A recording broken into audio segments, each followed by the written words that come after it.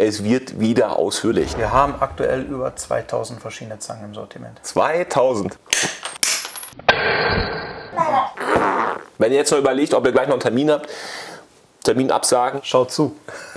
So, Freunde, heute geht es mal um das Thema Zangen. Und zwar Zangen von einer Firma, die ihr wahrscheinlich alle kennt von Kniepex. Und damit willkommen zu einem weiteren Baufrum 24 Expert Talk mit Kniepex. Und an meiner Seite den Marc André von Kniepex. Ordentlich gekleidet hier, richtig in der CI. Schön, dass du da bist. Ich denke, wir werden äh, heute einige Themen haben. Ja, danke einmal für die Einladung. Ist für uns auch sehr spannend hier zu sein. Und ich bin Produktmanager bei Kniepex und bin im Prinzip für ja, die Zangen, für das Sortiment zuständig. Marktforschung, was braucht der Kunde, was möchte der Kunde, wo gibt es Probleme, was kann man ändern. Und äh, das versuche ich dann entsprechend umzusetzen. Ein Teil der Ergebnisse kann man dann hier sehen. Genau, wir haben ein bisschen aufgetischt. Und das heißt, du bist sattelfest, wenn ich dich dann heute mal in dem Thema Zangen in die Zange nehme. So sattelfest wie es geht. Ja. Und ähm, ich kann euch versichern, ich kenne den Marc André schon eine Weile und der Kollege ist wirklich der perfekte Gast für einen Expert Talk, weil du lebst das Thema wirklich. Du hast richtig Spaß, wenn man sich mit dir unterhält ja. über das Thema. Und ich habe auch im bisherigen eigentlich noch keine Frage gehabt, die du nicht beantworten konntest. Das freut mich, wenn das so ist und wenn das so bleibt. Vor allen Dingen äh, hat er absolute Sympathiepunkte bei mir bekommen, denn er hat mir mal erzählt, dass er irgendwo im Urlaub war und da hast du irgendwo was repariert, MacGyver-mäßig und hattest nur zwei Kniepex-Zangen. Ich glaube, das war beim Camping, ne? Das war an der Nordsee, genau. Und ähm, da hatte mein Sohnemann einen Ketka ausgeliehen und das ist da zerfallen und dann hatte ich wirklich nur zwei Zangen dabei und habe es damit so hinbekommen, dass er wieder damit fahren kann und äh, der Urlaub war gerettet. Also ihr erfahrt dann heute auch, wie man mit nur zwei Zangen die Welt retten kann. Und ich will ja auch immer so ein bisschen wissen, was steckt hinter dem Unternehmen. Und ich erinnere mich, ich habe mal eine Folge Made in Germany gemacht, denn äh, Kniepex ist natürlich ein deutsches Unternehmen, stellt auch ausschließlich in Deutschland her, glaube ich. Ausschließlich ne? in Wuppertal-Kronberg. Da habe ich schon mal so ein bisschen über das Unternehmen erzählt, aber jetzt erzähl du noch mal, wie lange gibt es euch? Wie ist das entstanden? Knipex gibt es seit 1882, von Karl Gustav Putsch gegründet. Es fing damals an, Pferde waren ja immer noch ein Thema, also hat man mit äh, Kneifzangen angefangen. Also Kneifzangen äh, hier für Pferde, Hufbeschlag, genau, genau, Hufbeschlag und die äh, Hufnägel rauszuziehen? Sowas genau in der Richtung und ganz normale Kneifzangen. Ist das eine Hufbeschlagzange? Das ist eine Hufschlagzange noch, die wir im Programm haben, ja. Ach krass. Also hier, so geht das heute die ganze Zeit wahrscheinlich. Ähm, ich hätte jetzt gedacht, ja, irgendwie so eine, so eine Kneifzange. Aber was macht es jetzt zur Pferdezange? Zur Huf, Hufbeschlagszange? Genau diese Nase, die nutzen die Hufschmiede nämlich, wenn sie die Hufeisen draufsetzen und die Nägel einschlagen, dann kommen die ja nachher an einem Huf raus. Und die sollen sehr nah abgeknipst werden. Und ja. dann setzen die die unten drunter, dass der Nagel hier kommt, hier drauf trifft und sich abrollt. Ja. Und dadurch steht der besser ab und sie können näher abkneifen und der Rest wird dann gefeilt. Also Hufschmiede waren äh, quasi mit eure ersten Kunden. Genau, 1882. Das Gründerhaus, das steht immer noch. Da im Keller hat der Herr Putsch die ersten Zangen geschmiedet, bis die Frau ihn rausgeschmissen hat, weil ihr ständig das Porzellan aus dem Schrank gefallen ist und sagte, jetzt bau mal bitte eine Halle. Und äh, das war dann die erste Halle, die heute unsere Kantine ist. Und auch kurz vorweggenommen, äh, ich habe euch das ja im letzten Livestream schon erzählt, dass äh, Marc-André hier ist und wir reden heute über das Thema Zangen. Aber ihr wollt natürlich auch sehen, wie werden die Zangen gemacht. Und dann machen wir eine Factory Tour, die wird es in sich haben. Da bin ich mega gespannt drauf. Da werde ich ja die Kantine dann auch sehen und den alten Stammsitz. Ähm, hat das nicht auch was zu tun, dass ähm, ihr da so in einem Werkzeugspeckgürtel sitzt, weil es damals das Thema Wasserkraft dort äh, verfügbar gab? Genau, das ist äh, die Wupper ist da ja als Fluss und äh, das war der, ich sag mal, die Lebensader in dem bergischen Bereich für die Stahlverarbeitung. Ich brauchte halt die Wasserräder, um die Schmiedehämmer anzutreiben. Und äh, das ist der Grund, warum also viele namhafte Firmen da aus dem Bereich Wuppertal, Remscheid, Solingen kommen und die da alle ansässig sind. Ja. 1882, wie ging es dann weiter? Genau, äh, 1882 war es bekannt unter CGP für Karl Gustav Putsch. Äh, das hat sich dann in Mitte der 40er Jahre, so 42 rum, äh, geändert in den Namen Knipex. Wo das jetzt genau herkommt, kann man tatsächlich nicht mehr sagen. Wo der Name Knippix herkommt, genau, kann man Name, sagen? Nein, kann man nicht mehr genau nachvollziehen. Es gibt zwei verschiedene Versionen. Die einen sagen, äh, was abkniepen, also was abschneiden und mhm. dann dieses X, dieses Wegspringen des Materials. Das ist das eine. Das andere ist, äh, wenn man kniepig ist, dann ne, hält man immer sein Geld in der Tasche. Äh, das ist so, dass dieses Kniep, äh, das kommt auch davon. Also, man weiß es nicht mehr hundertprozentig. Aber mit, dann bist du mit der Ex kniepig. Ja, wenn es Geld Dann- weg ist, ist es weg. Ist wie der Ex, dann ist es weg.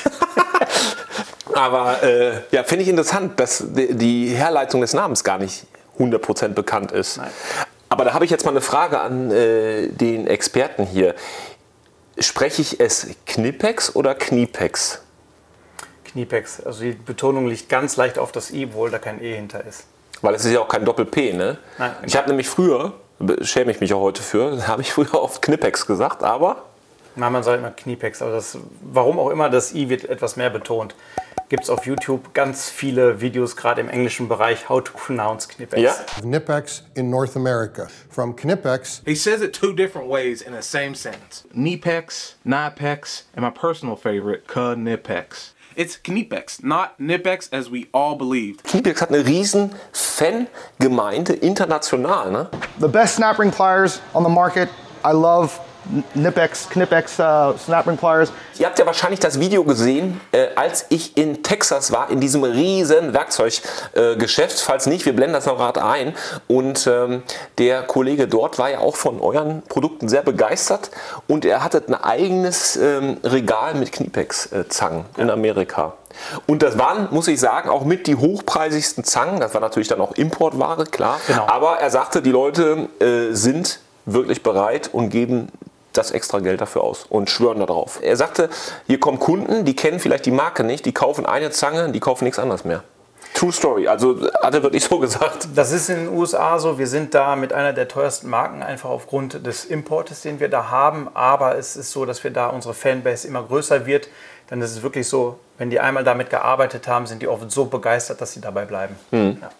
Wir wollen natürlich jetzt hier keine Lobhudelei machen, obwohl ihr zahlt ja äh, den Talk hier. Aber ich habe mich auch gefreut über viele Kommentare in dem letzten Livestream. Da haben wir euch ja auch äh, Fragen gestellt, die wir auch heute beantworten. Und ihr habt immer gesagt, ihr findet das gut, dass wir trotzdem daraus keine Werbeveranstaltung machen, sondern auch kritische Fragen stellen. Und wir haben ein kurz Vorgespräch gehabt und du hast auch mit gar kein Problem, ne? weil äh, selbst manche Fragen, die gleich kommen, wo es auch darum ging, dass äh, vielleicht mal ein Produkt kaputt geht oder halt nicht so die Performance, da hattest du auch Erklärungen für, die für mich schlüssig klingen. Kommen wir aber zu. Es wird wieder ausführlich. Ne? Also, wenn ihr jetzt noch überlegt, ob ihr gleich noch einen Termin habt, Termin absagen. Die letzten Talks gingen so anderthalb, zwei Stunden. Da kommen wir auch hin.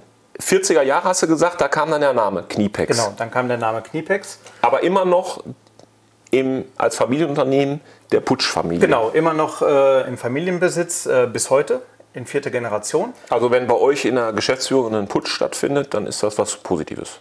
Genau, wenn Das da ein Putsch stattfindet, dann ist Dass das nichts Schlimmes. Nein, dann ist das äh, Alltag. Was ich immer interessant finde, du bist in einem Unternehmen, gerade ein Familienunternehmen, was auch ja, Inhaber geführt ist. Da hast du ja auch eine gewisse Kultur.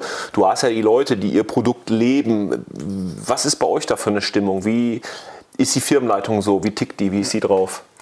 Die Stimmung ist sehr familiär, also der eine hilft dem anderen. Da ist nicht so ein, so ein, so ein Geschacher oder eine Ellbogenmentalität, wie man das vielleicht äh, schon von anderen Firmen kennt, sondern der Herr Putsch kommt regelmäßig runter, schaut in die Abteilungen rein, spricht mit den Leuten auch auf dem Gang und also ist alles sehr, sehr familiär. Also man fühlt sich, im, im Prinzip ist es eine zweite Familie. Du hattest vorhin äh, was äh, gesagt, glaube ich. Da ging es um diese Zange, ne? Es gibt ja hier die äh, Mini-Cobras, die haben wir euch auch schon öfter gezeigt. Ähm, und ihr habt immer gesagt, sieht zwar vielleicht für den einen oder anderen aus wie Spielzeug, ist aber echtes Werkzeug. Und dann kamt ihr auf einmal um die Ecke und habt sowas gehabt, die XS, ne?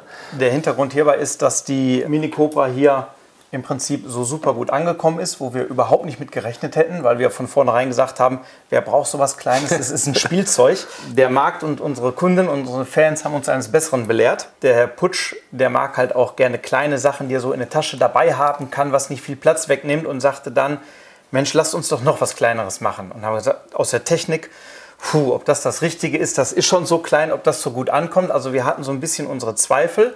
Und äh, dann haben wir im Prinzip diese beiden rausgebracht und die sind eingeschlagen wie eine Bombe. Man muss auch dazu sagen, man hat einen extrem hohen Haben-Wollen-Faktor. Jeder, der hier arbeitet, hat mittlerweile so ein Set. Ja, weil haben ist besser als brauchen. Und es ist wirklich äh, krass, weil, was man nicht äh, vermutet, dass man wirklich hier auch Kraft aufbringen kann. Und gerade hier, wenn du eine Schraube festdrehst, oder eine Mutter festdrehst, oder auch mal was kontern willst, das funktioniert perfekt. Also die unterliegen den gleichen An Qualitätsanforderungen wie unsere anderen Zangen. Das heißt, die durchlaufen alle Prüfungen, alle Tests, alle Belastungen werden eins zu eins umgemünzt auf die Größe dann und dann müssen die auch entsprechende Standards erfüllen. Hast du eine Ahnung, wie viel Zangen ihr im Sortiment habt? Wir haben aktuell über 2000 verschiedene Zangen im Sortiment. 2000. 2000 verschiedene. Krass. Wobei, das denkt man ja schon, dass es zum Beispiel eine Cobra gibt. Dann gibt es ja die Cobra als ähm, 125er, 150er. Was kommt dann? 175? 250 haben wir, 400, äh, 560, 300. Genau, 560, das ist, äh, wir kennen das ja als Meister Röhrig Gedächtniszange, ihr erinnert euch. Äh, aber 2000 Zangen, dann macht ihr eben aber auch wahrscheinlich auch Unterschied, dass ihr sagt, okay, es gibt die Cobra mit dem Griff und die mit dem Griff. Das ist dann Genau, ein weiterer genau. Typ. Genau, das ist ein Typ. ähm, Wir haben um die 140 verschiedene Schmiederohlinge, aus der dann die verschiedensten Zangen äh, produziert werden können. Okay, also 140 sind dann wirklich komplett andere Gattungen. Genau. Aber hier ist ja jetzt wenig hier mit Schmieden, ne? Das heißt, das ist ja dann, das kommt ja noch on top. Das ist mit inklusive tatsächlich. Ja, also, Also, das ist die okay, gesamte Range. Die 2000 ist die Range, die wir komplett anbieten. Okay. Oder über 2000. Hier ist ja auch eine Sache, wo man äh, vielleicht denkt, ähm, okay, ich kenne jetzt Kniepex, also woran denke ich bei Kniepex sofort, ist für mich eine Cobra, eine Kombizange, ein Seitenschneider. So, Das ist das Traditionelle, wo wir auch mit gestartet sind. genau. Prinzip. An sowas oder hier auch an solche Sachen denke ich ja vielleicht nicht im ersten Step, aber macht ja Sinn, weil das ja eigentlich auch so das Portfolio ist, Handwerkzeug in dem Sinne, was kneifen, was quetschen, was im Prinzip, wo ich hier so ein Zangenmaul habe, wo irgendwie was zusammengeht. Ne? Irgendwo. Genau, die, die Industrien entwickeln sich ja weiter und man muss halt äh, am Ball bleiben, denn nur mit einer Kneifzange würdest du heute ja gar nicht mehr überleben. Die Kneifzange an sich ist ja, muss man einfach sagen, rückläufiges Produkt, sondern ich brauche es, wofür brauche ich es eigentlich nur noch, um einen Nagel aus einer Palette zu ziehen. Ansonsten ist eine Kneifzange jetzt, ich sag mal, nicht mehr so wie früher der Allround, das Allround-Werkzeug. Und äh, man muss sich natürlich den, dem Markt, den Industrien anpassen und dementsprechend wird die Produktpalette dann immer größer. Jetzt habt ihr über 2000 Zangen. Wie viel Stahl wird da verarbeitet? Wie viel Zangen macht ihr im Jahr? Wir machen äh, fast 15 Millionen Zangen pro Jahr und brauchen im Monat tatsächlich 790 Tonnen Stahl. Im Monat? Im Monat, um die zu produzieren. Sie- 790 Tonnen Stahl. Ja. Wie, wie, wie, wie wird der Stahl da angeliefert? Was ist das? Das sind Drahtcoils im Prinzip. Und äh, ich habe hier mal einen mitgebracht. Das ist jetzt ein Abschnitt. Daraus werden dann verschiedenste Zangen. Die gibt es dann in verschiedenen Längen und verschiedenen Dicken. Und das ist dann auch gleichzeitig der Schmiederohling für unsere Zangen. Wie krass. Daraus, daraus wird eine Wasserpumpenzange? Daraus wird Also den- die Cobra zum Beispiel. Eh, Krass. Aber nicht alle in einer Stärke. Es gibt noch dickere. Genau, es gibt dickere, dünnere, längere, kürzere. Also wir bekommen Okay. es auf, auf dem Coil Okay. und schneiden die dann in der Länge ab, wie wir es brauchen. Coil heißt aber, das Ding ist, Ist gebogen. aufgerollt. Ist aufgerollt, ja. Also wir sehen das ja dann auch noch wirklich in der Fertigung. Äh, Freue ich mich schon echt mega drauf. Aber ja, klar, es ist ja auch ein Stück. Ja, ein Schenkel ist immer ein Stück. Also ich hatte bisher mir überhaupt noch keine Gedanken gemacht. Ich hätte gedacht, okay, vielleicht habt ihr irgendwie so Stahlblöcke, die schmelzt ihr ein und dann kommt das aus irgendeiner, Nein, nein, nein. kommt in irgendeine Gussform, wobei dann wäre es ja gegossen und nicht geschmiedet. Genau. Und dann wäre es ja nicht so ja, hart schon, aber spröde, ne? Du hast also, dann nicht die Stabilität und die Belastung, die du brauchst, Genau. wie wir es bei den Zangen brauchen. Gerade bei so großen Zangen, die dann doch schon extremen äh, Anforderungen unterliegen, wenn man mal so Bilder oder Rückmeldungen von einigen Kunden bekommt. Beispiel bei der großen ist ein ganz schönes äh, Beispiel.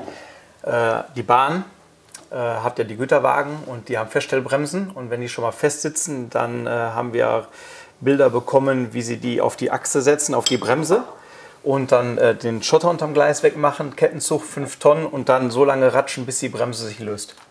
Also das ist wirklich so ein Problemlöser. Äh, wenn gar nichts mehr geht, dann die Cobra XL.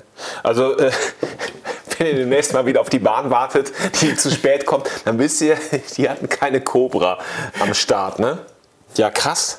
Und wie viele Leute arbeiten bei euch dann? Äh, wir sind aktuell etwas über 1800 am Standort Wuppertal.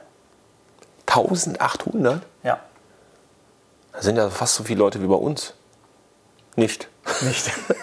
Krass. Ja, also das ist halt auch wirklich, äh, das alles, was hier geschmiedet liegt, kommt auch wirklich aus Wuppertal-Kronenberg. Es gibt nur diesen einen Fertigungsstandort weltweit. Und von da aus geht das in über 140 Länder, wo wir eigene Mitarbeiter haben. Finde ich ehrlich gesagt bewundernswert, weil wenn man überlegt, wie viele Firmen ja mittlerweile auch eine Produktion im Ausland haben, gerade im Werkzeugbereich. Gibt ein bekanntes Unternehmen, kennt ihr, äh, die sind glaube ich in Tschechien. Viele gehen natürlich auch vielleicht nach Fernost äh, wegen Lohnkosten, aber ihr sagt, lohnt sich nicht mit Lohnkosten.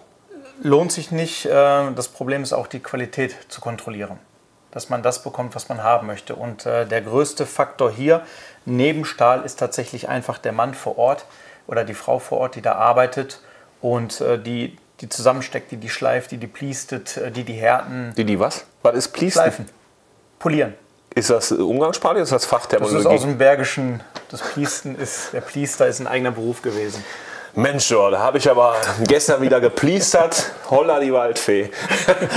Aus dem Bergischen kennt man den Begriff. Ja.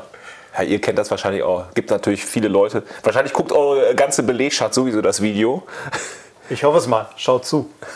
Ich würde sagen, das ist das Stichwort. Wir räumen jetzt erstmal ein bisschen auf und dann erzählst du mir mal, für was ist welche Zange gut. So, eins, zwei, drei. Und schon ist der Tisch etwas leerer und übersichtlicher geworden und die Produktgruppe heißt Wasserpumpenzangen. Genau. Die Wasserpumpenzange, dein unbekanntes Wesen in der Werkzeugkiste oder in der Werkstatt. Ja, Wasserpumpenzange, würde ich auch sagen, ist eine der Top 3 Zangen, die man haben auf jeden sollte. Fall. Auf jeden Fall. Und sie gibt es in unterschiedlichsten Formen von Knipex. Wir haben äh, einige davon in der Werkstatt, aber nicht alle, wie ich jetzt sehe. Und dieser Kollege sieht zwar aus wie eine Wasserpumpenzange, ist aber keine, ist ein Zangenschlüssel. Da kommen wir gleich dazu. Wir haben natürlich wirklich auch verschiedenste Varianten, größentechnisch. Brauchst du eine kleine Vapu? Sagst du Vapu oder Vapuza? Vapu. Vapu? Vapuza Ja. ist mir jetzt unbekannt Doch, tatsächlich. Das haben, äh, das haben Leute schon äh, geschrieben unter Kommentaren. Ich sage auch Vapu, so klein oder so. Entscheiden Sie sich jetzt.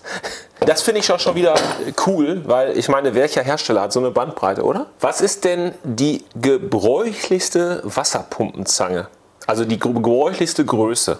Der Klassiker ist die 250er. Die hat eigentlich jeder Installateur, äh, egal aus welcher Branche du bist, auch zu Hause. Das ist eigentlich so die Größe. Die ist immer noch klein, handlich, hat einen großen Verstellbereich. Also da kann ich so die ganzen Alltagssachen, kann ich damit noch hervorragend erledigen. Von da ist das wirklich der Klassiker schlechthin. Jetzt hat man gerade gesehen, die ähm, habt ihr wahrscheinlich auch irgendwie frisch aus der Produktion mitgenommen. Genau. Und du hast jetzt hier ein bisschen Öl. Ist jetzt aber auch nichts Schlimmes, ne? Wenn ich das kaufe und es ist ein bisschen ölig. Nein, im Gegenteil, äh, Öl ist konservierend, ist erstmal immer super und äh, die Zangen werden bei uns immer komplett, also in dem Fall bis hier, einmal in Öl getaucht, dass wir da sicher sind, dass die Zangen gutgängig sind, aber auch korrosionsgeschützt beim Kunden ankommen. Denn wir haben ja hier gepliestete Flächen, das heißt, ich habe hier offenen Stahl, der ist nicht geschützt, außer durch das Öl, was wir da drauf packen. Und äh, wenn man das nicht regelmäßig macht, kann natürlich mit der Zeit Flugrost entstehen. Und was man dagegen machen kann und wie auch immer, äh, kommen wir auch noch zu. Wir müssen aber so ein bisschen mal hier Struktur reinbringen. Bei über 2000 Zangen ist das eine Herausforderung. Ich bin ja auch immer ein Fan der ganzen Historie von dem Unternehmen, von den Produkten. Und ich habe gesagt, bringt mal äh, ein bisschen altes Eisen mit, im wahrsten Sinne des Wortes. Die sind alle jetzt nicht mehr aktuell im Programm. Äh, die ersten drei sind nicht mehr im Programm, die haben wir noch im Programm. Ja. Und das ist im Prinzip das älteste Eisen, was wir jetzt hier auf dem Tisch haben, um die 1930 rum. Die Mutter aller Vapus. Aller Wasserpumpenzangen, genau. Da ist auch noch die Besonderheit bei oder unter Sammlern ist es sehr, sehr begehrt, dass da noch CGP für Karl Gustav Putsch drauf steht. 42 rum hat man dann ja den Namen Knipex eingeführt. Diese Mischung CGP und Knipex lief ungefähr bis 1960 rum und ab da war es dann rein Knipex. Also CGP Karl Gustav Putsch. Genau, für Karl Gustav Putsch. Und die wurde dann produziert in der Form bis? Bis in die 50er rein. Ich hätte jetzt gedacht, du musst jetzt irgendwo einen Joker anrufen in Kronenberg, aber äh, krass. Also ich sag mal, dann ist diese Zange, wenn wir vielleicht bis in die 50er, dann ist diese Zange auf jeden Fall mindestens um die 70 Jahre alt. Ja, Und sieht nur aus wie neu, fast. So, das heißt, Verstellmechanismus ist schon so, dass ich sie einmal so anwinkel und dann kann ich sie verschieben. Genau. Verschiedene Raststufen. Und wie ist das mit der Zahnung? Ist die Zahnung schon so gegenläufig oder ist es einfach. Nein, damals kannte man das noch nicht, sondern da hat man einfach gesagt, je mehr Zähne da sind, umso aggressiver ist es und hat sie einfach, ich sag mal, gleichmäßig ausgerichtet, äh, ohne jetzt, äh, wie es heute gemacht wird, über Drehrichtung, Kräfte und sowas drüber nachzudenken, sondern da war es, je mehr Zähne ich habe, umso griffiger ist es. Aber wenn du mal guckst, ne, die schließt ordentlich. Das ist immer noch Qualität. Das ist immer noch Qualität. Auch wenn hast es jetzt- 70 Jahre altes Eisen ist. Ich sag mal, ihr kennt ja unsere legendären äh, Werkzeugkoffer-Tests mit äh, wie viel Teile? 2000 Teile für 79 Euro. Alter, was ist das denn? Das ist doch Realsatire, was hier gerade abgeht. oh. Da sind teilweise Wasserpumpenzangen drin, die vom ersten Anschein so ein bisschen so einen Eindruck machen. Das böse Erwachen kommt aber, wenn du damit arbeitest oder die einfach mal in die Hand nimmst, da graut es ein. Und hier denke ich, jo, das passt, ne? Tropfen Öl dran, es läuft noch besser.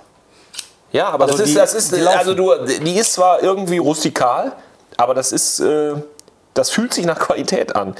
Und was ich gerade so denke, äh, sag ich mal 30er Jahre, da hatten die ja wahrscheinlich noch nicht so viel irgendwie zwei Komponenten PU, Griffschalen oder irgendwas. Das war einfach hier geriffelt. Und diese Rifflung, die kenne ich irgendwoher, nämlich äh, von denen, ne? Genau. Ist das so ein bisschen Retro-Style, was ihr da irgendwie? Äh, zwei Punkte tatsächlich. Einmal Retro-Style, weil das äh, doch auch mal immer wieder von Kunden äh, der Wunsch kommt, dass man sowas wieder mit ins Programm nimmt. Aber das Problem bei dieser Größe ist halt einfach, ich, wenn ich da solche Griffe drauf mache, dann wird das Ganze zu dick, zu klobig und das passt nicht mehr zu dieser kleinen, filigranen, schlanken Zange. Und äh, da haben wir gesagt, dann wäre im Prinzip Back to the Roots, so wie wir es früher hatten, wäre dann genau der richtige Weg. Ich finde ehrlich gesagt, das macht es auch aus, ne? den Charme dieser Zange. Ja. Also das ist so, so back to basics, Schlicht und elegant. trotzdem unheimlich wertig. Ich finde hier, du hast so, so eine Griffmulde ne? für einen Daumen zum Verstellen. Oder ist das jetzt Zufall, dass ich immer denke, das ist... Das ist äh, im Prinzip äh, in Anlehnung an unseren klassischen Cobras hier, äh, um, um die Familieneinheitlichkeit zu haben. Aber wir haben ja den Druckknopf nicht mehr. Ja, genau. Und äh, da haben wir einen anderen Verstellmechanismus, aber um dort beizubleiben. Ja, also ist im Prinzip ist das hier Ah, identisch. okay. Ah, also normalerweise heißt es ja bei der Cobra den, den Druckknopf. Da wäre okay. der Druckknopf, genau. Druckknopf ist Cobra, kein Knopf ist Alligator. Alligator, Ne? ja. Kann man auch äh, sehr schön unterscheiden. Wer mit einer Cobra oder mit einem Alligator arbeitet, dann kann man schon meistens sagen, welche Berufsgruppe das ist tatsächlich. Denn da, wo es richtig rau, viel Verschmutzungen im Erde, Straßenbau, Maschinenbau, die nehmen ganz gerne den Alligator, einfach aufgrund dessen, dass der Schmutz und Verschmutzungen hier viel besser rausgehen. Ja, Ja. Also ich kann es durchpusten, ich kann es bewegen, ich kann einmal durch einen Eimer Wasser ziehen, ist das sauber. Während alles Mechaniker, Kfz-Mechaniker, Industriemechaniker, alles viel, was in Gebäuden drin ist, wird äh, die bevorzugt, weil die da die Verstellung einfach feiner ist. Wäre aber jetzt, ich sag mal, wenn ich damit in der Erde wühle, schmutzanfälliger. Ja, klar. Weil du ja diesen, diesen Federmechanismus hier hast. Genau. Ich habe einfach viel mehr Elemente. Und die dann- Zahnung ist ja hier äh, feiner, ne? Genau. Ich muss mal kurz überlegen. Ich glaube, die erste Cobra hatte ich 97 oder 98 so um den Dreh. Kann das sein? Die erste Cobra ist tatsächlich 1984 erschienen. Auch schon Knopf. Ja, genau, auch schon Knopf. Krass. Ja. Also das ist die Urcobra. Das ist die Urcobra aus 1984. Das ist ja auch krass. Das hat man ja oft. Manche Sachen sind doch so einfach, dass man denkt, warum bist du da nicht gleich drauf gekommen? Und ich würde jetzt hier denken, warum habt ihr diesen Knopf nicht gleich größer gemacht? Aber da war, war wahrscheinlich die Idee, komm, wir machen erst eine Wapu mit einer Rastung und mit einem Knopf, mit einer Arretierung. Ja, da ging es dann um das System. Ja, da hast du einen Knopf, passt. Genau. Und dann kam man irgendwann drauf, ja, das könnte man vielleicht noch ergonomisch optimieren. Und jetzt hast du den größeren Knopf, der sich natürlich angenehmer anfühlt. Also ich hatte, glaube ich, schon die größere Variante, aber ich kannte das gar nicht. Ich kannte immer diese normalen Wasserpumpenzangen, die vielleicht, also die läuft jetzt extrem geschmeidig, vielleicht war es auch keine Kniepex, aber ab und zu hat das mal irgendwie so ein bisschen lief nicht so fluffig und dann hatte ich das und vor allen Dingen brauchst du die ja nicht mehr. Also die kannst du ja so nicht verstellen. du musst also immer so arbeiten. Genau, bei der ist es halt so, die muss ich vor meinem Werkstück einstellen. Ja. Das heißt, ich muss abschätzen oder messen, wie groß mein Werkstück ist. Und die kann ich halt äh, über den Druckknopf einfach hier betätigen, direkt am Werkstück dran gehen, einstellen und arbeiten. Und bei der Alligator muss ich es halt vorher abschätzen, sagen, okay, das ist die Größe und ich arbeite dann. Und bei mir ist noch so ein Faktor, ich weiß nicht, ob ihr das auch fühlt. Ich könnte mir vorstellen, ja. Wenn du so ein Werkzeug hast und du drückst hier und dann machst du das und dann rastet das hier und es ist so was Schönes, Mechanisches, was, Ja. was, was Wertiges, was wiederum Spaß macht. Es hört sich nicht nach Blech an. Es hört sich nach. Ja, du, aber du, also allein, dass du, an. allein, dass du so einen Knopf hast mit der feinen Rastung, mega.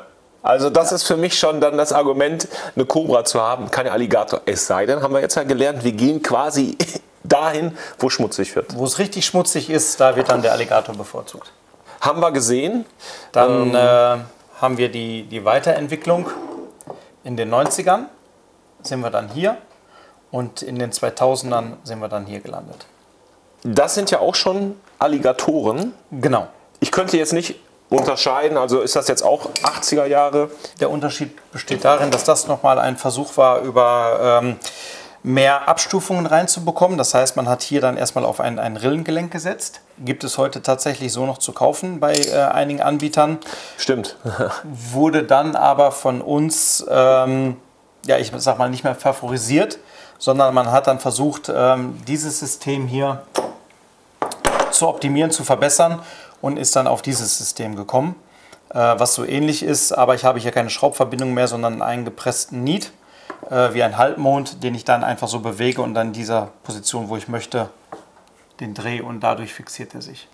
Hat den Nachteil natürlich, äh, wie beim System, wenn ich den hier falsch ansetze und jetzt unbedingt Kraft drauf geben muss, dass irgendwann das Gewerbe leidet und die Verstellung dann nicht mehr richtig funktioniert und dann muss ich halt eine neue Zange kaufen. Was leidet? Das Gewerbe hier, also der Weg. Das Gewerbe, Ja. sagt man dazu. Ja. Also ich bin so ein bisschen zwischendurch sprachlos, weil ich mal, ich ratter die ganze Zeit, weil ich denke, krass, weil man lernt so viel dazu ne, bei unserer Sendung, aber ich, mir geht es ja genauso. Deswegen so quasi mal aus dem Nähkästchen geplaudert. Äh, Marc-André kam hier an und wollte mir dann teilweise schon zu bestimmten Themen viel erzählen. Ich habe gesagt, erzähl mir nichts, weil ich will ja neugierig bleiben und erst in der Sendung mit euch schlau werden. Das heißt, wir werden zusammen schlau. Ne? Das ist ja auch was Schönes. Aber man sieht natürlich auch, die Grenze ist, der Verstellbereich kann ja nur so feinmaschig sein oder engmaschig, wie auch immer, wie dieser Niet ist. Genau. Kann nicht kleiner sein. Nein, Sonst- kann nicht kleiner oder nicht größer sein, er ist exakt darauf angepasst. Das heißt, ich habe da natürlich immer einen gewissen Sprung bis zum nächsten Maß, äh, was dann über die Cobra verändert worden ist, dass ich eine viel feinere Abstufung habe. Allein das, ja, denkt man auch vielleicht nicht drüber nach, wenn man einfach mit dem Zangen so, okay, da ist halt eine Schraube, ja, funktioniert halt. Ist die Frage, ist das für euch in der Fertigung dadurch effizienter, einfacher geworden? Wahrscheinlich, ne, oder? Oder sagt ihr, der Aufwand ist, ist mehr Aufwand, das so zu machen, als einfach hier eine Schraube, ein Loch und eine Mutter drauf? Also in der Fertigung ist diese Variante etwas einfacher. Die Schmiedegesenke leiden nicht so stark wie hier und ich habe diese ganze Schraubarbeit nicht, die ich hier habe, da diese äh, Niete eingepresst werden. Ja, und hier muss wirklich einer sitzen und das ganze gute Stück hier, siehst du ja, Kreuz und mit einer Mutter verschrauben. Und dann darfst du es nicht zu fest anziehen, weil dann kannst du es nicht mehr bewegen. Es darf nicht zu locker sein, weil du sonst zu viel Spiel hast. Also das ist dann schon, bedarf schon echt Einstellarbeit. Und was man natürlich auch sieht, das, das ist ja, wie nennt man die beiden Teile hier eigentlich? Du hast einen Innenschenkel und einen Außenschenkel. Okay, die Schenkel. So, das heißt, die Schenkel liegen hier aufeinander. Äh, bei der Variante ist es ja dieser Schenkel innenliegend. Ne? Genau, sind schon heißt, durchgesteckt. heißt dann aber auch, äh, ich stecke die durch und erst dann kommt der Kollege da rein. Genau. Ja. Das heißt, äh, ich muss das Gewerbe hier aufweiten, damit ich den Schenkel überhaupt durchbekomme, weil der ist ja dicker hier im Greifmaul. Ach ja, stimmt. Ja, da denkst du ja ich auch nicht drüber nach. Ne? Klar, das ist ja dicker. Ich freue mich schon mega, wenn ich bei euch bin. Und das ist ja auch das Spannende, weil hier bekomme ich ja Antworten auf Fragen, die, mich, die ich mir vorher noch gar nicht gestellt habe. Aber wenn du dann genau drauf guckst und ein bisschen grübelst, ja klar, wie machen die das? Okay, also von daher wird es äh, spannend, wenn ich bei euch bin. Auf jeden Fall. So, das Thema Wapu äh, hatte aber dann irgendwann noch eine Sache mit der Zahnung. Ne? Und deswegen haben wir ja auch Genau. dieses Gerät hier. Das ist eine Zahnung, die besonders kräftig ist, weil sie Selbstklemmend äh, nennen wir das, ähm, denn man hat das Problem im Prinzip wie bei der ersten hier. wo die Zähne ja einfach mehr oder weniger 90 Grad zum Werkstück sind, wo man gedacht hat, das hält sehr gut, hat man aber festgestellt, es funktioniert halt nicht, sondern die Gefahr besteht einfach, wenn ich drauf drücke, dass sie durchrutscht und dann klemme ich mir ganz, ganz böse die Finger. Da haben wir sehr, sehr lange dran rumgetüftelt, um die Geometrie so zu gestalten, dass wir von unserer Selbstklemmung sprechen. Das heißt, wenn ich so wie hier die Zange einmal ansetze und zupacke, dass die auch an Ort und Stelle bleibt und du eben nicht abrutscht, wie es bei vielen, vielen anderen der Fall ist. Das Rohr ist jetzt für diese Zange ein bisschen zu klein, aber es kann schon gut zeigen, ich brauche nur noch hier oben drauf drücken, nicht wie bei vielen anderen. Wenn du da einmal runterdrücken magst, dann genau, äh, wo ich immer beides festhalten muss, sondern ich kann einfach nur hier oben drauf drücken und die bleibt da, wo sie ist. Okay. Ja, also ich muss nicht zwanghaft beide zudrücken. Okay, weil die, weil die Oberseite will ja quasi nach da abrutschen und die Unterseite will ja nach da abrutschen. Genau, und da und dann habt ihr die Zähne so gegenläufig. Genau. Du sagst, das ist aber eigentlich für diese Zange nicht gedacht, weil Genau. äh, ja, du siehst natürlich, wenn du jetzt hier, Genau, das du hast äh, die, die Maulweite ist hier schon zu gering eigentlich für die Ohrweite. Also genau, ist eher für größere Sachen äh, geeignet und die ist dann für kleinere. Wie stelle ich denn jetzt zum Beispiel eine Vapu optimal ein? Weil, ich sag mal, ich könnte ja so machen. Ich kann aber, und das hat gegriffen, ich kann aber auch etwas weiter machen und greift auch. So, was ist optimal? Optimal ist, dass sie im geschlossenen Zustand ungefähr so in der Hand liegt, dass ich also vernünftig rumgreifen kann. Also alles, was in diesem Bereich ist, ist nicht ergonomisch oder alles, was in diesem Bereich ist, ist nicht ergonomisch. Ja, also du musst genau im Prinzip dazwischen liegen, also wirklich tatsächlich so in diesem Bereich. Und das kann man halt sehr gut einstellen, nämlich ich einfach den Knopf drücke, die Zange ranschiebe Ah, ja. und dann greife und dann habe ich Da brauche ich dann jetzt aber nicht. Angst haben, dass ich dann quasi schon hier am Limit bin und keinen Druck mehr ausüben kann. Nein, das kann ich ja immer so einstellen, dass ich da noch Druck ausüben kann. Okay. Da müssen wir einen enger machen, sehe ich gerade. Das ist halt auch wieder der Vorteil, wenn, wenn du merkst, dass es nicht passt, stellst du einfach einen enger Ja. und dann funktioniert es wieder. Kannst dich da jetzt draufstellen, oder was? Ich als schlanke Gazelle kann das. Zeig mal. Marc-André wettet, dass er auf einer Wasserpumpenzange mit seinem Lebendgewicht von rund 100 Kilo frei stehen kann. Wie lange? 24 Stunden? Ja. wir machen da einen Zeitraffer raus. Ne? Ich würde sagen, top, die Wette gilt. Ja. Okay, ich halte mal ein bisschen Sicherheitsabstand. So.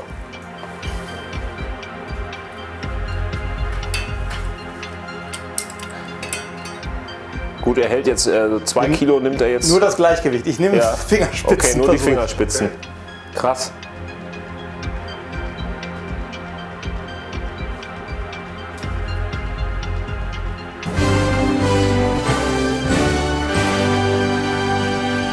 Äh, Damit offiziell bestätigt, Sie sind äh, nominiert als Wettkönig. Oha. Äh, ja, aber krass, dass das äh, so funktioniert.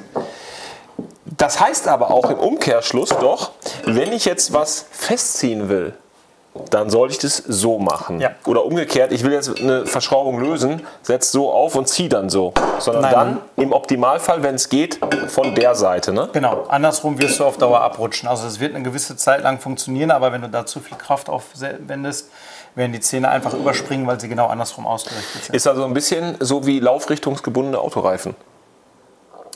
Ja. Ne? Die sind ja auch auf eine Richtung äh, optimiert. Und was ich mir bei diesen Szenen halt auch gedacht habe, ist so ein bisschen wie die äh, Innovation der Lamellen beim Winterreifen. Früher gab es ja Winterreifen, Mhm. einfach nur grob, grobes Profil. Und dann kam diese Idee mit den Lamellen, Feinen, ja. die sich beim Abrollen in, diesen, in, in den Schnee reingraben. So. Ja. Also im Prinzip bei euch eine Zange mit MS-Kennzeichnung, wobei da nicht Matsch und Schnee, sondern äh, mächtig und stark. Ne? Merken wir uns. Müsste aber noch drauf machen. Genau, machen wir. Gibt es dann nur im Herbst. Aber treue Zuschauer wissen jetzt, das Thema Wasserpumpenzange ist im Hause Knipex damit noch nicht komplett ausdekliniert, sondern es gibt auch eine smarte Wasserpumpenzange, die es mir angetan hat. Haben wir auch schon öfter gezeigt. Heißt dann auch Smart Grip. Smart Grip, genau. Und da dachte ich, holla die Waldfee, da haben sie sich aber auch wirklich was einfallen lassen. So, die ist nämlich total abgefahren, weil du brauchst hier gar nichts mehr einstellen. Das kannst du ja auch hier wiederum zeigen. Du machst einfach zu. Und wenn das jetzt dünner ist, machst du auch einfach zu und es passt Genau. immer. Genau, die passt sich also immer automatisch deine Materialstärke an, solange es im Kapazitätsbereich ist. Ist dadurch sehr beliebt bei Schweißern zum Beispiel, wenn die heiße Sachen haben nach dem Schweißen oder Vorwärmen, um was zu festzuhalten, zu fixieren oder zu transportieren, ist sie sehr beliebt. Hat, äh, auch wenn sie die gleiche Zähnung hat, aufgrund der Öffnungsfeder natürlich nicht die Selbstklemmung wie die klassische Wasserpumpenzange. Das heißt, wenn du die jetzt da drauf setzt, öffnet die und dann fällt sie natürlich runter. Also die muss ich immer in der Hand halten. Okay. Das heißt, die ist nicht ganz so kräftig. Also wenn du richtig Ivan im Ärmel brauchst, dann nimmst du eher Genau, dann bleiben wir bei der normalen Cobra. Das ist, wenn ich äh, zum Beispiel eine Hand schon ähm, ein Werkzeug habe und muss zum Beispiel kontern oder möchte was festhalten, dann nehme ich die, weil dann brauche ich nichts einstellen, sondern ich greife einfach nur zu und habe automatisch den richtigen, äh, die richtige Einstellung. Ich muss gestehen, ich habe bis heute, glaube ich, auch noch nicht so ganz den Mechanismus verstanden. Das ist so ein bisschen wie Zauberwürfel. Das ist auch gut so. So ein bisschen irgendwie, ne? Ich, äh, aber ihr könnt ja mal schreiben, ob ihr die im Gebrauch habt und äh, wofür und was für euch das Argument war. Würde mich ja interessieren. Euch wahrscheinlich auch. Auf jeden Fall. Ist natürlich preislich ein bisschen äh, teurer. Ich meine so gute 50 Euro. Kann das? In dem Bereich äh, liegt die, ich glaube, knapp drunter, aber 50 Euro ist eine gute Hausmarke in dem Bereich. Hängt aber auch äh, aus zwei Gründen. Einmal natürlich ist, ist der Aufwand, die zu produzieren, viel höher. Das ist das eine. Das zweite ist natürlich, wie es in der heutigen Industrie ist, stückzahlabhängig. Ja, je mehr Stückzahl ich machen kann, irgendwo umso günstiger wird meine Fertigung.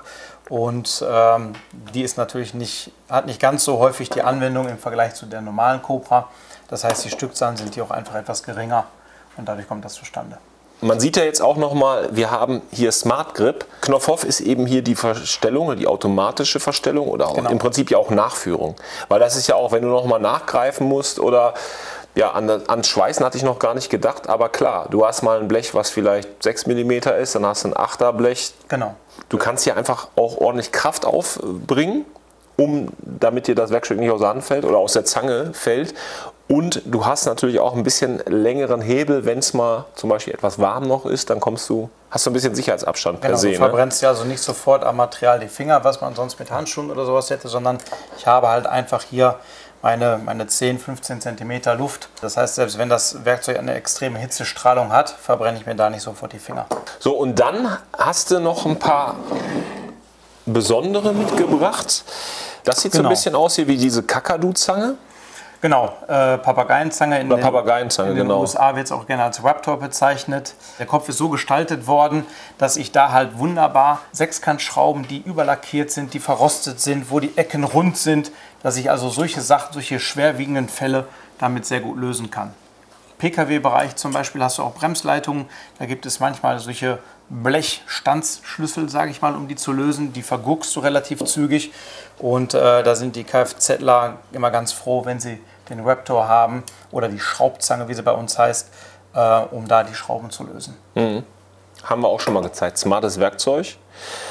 Dann eine Vapu, die so ein bisschen auf Diät war.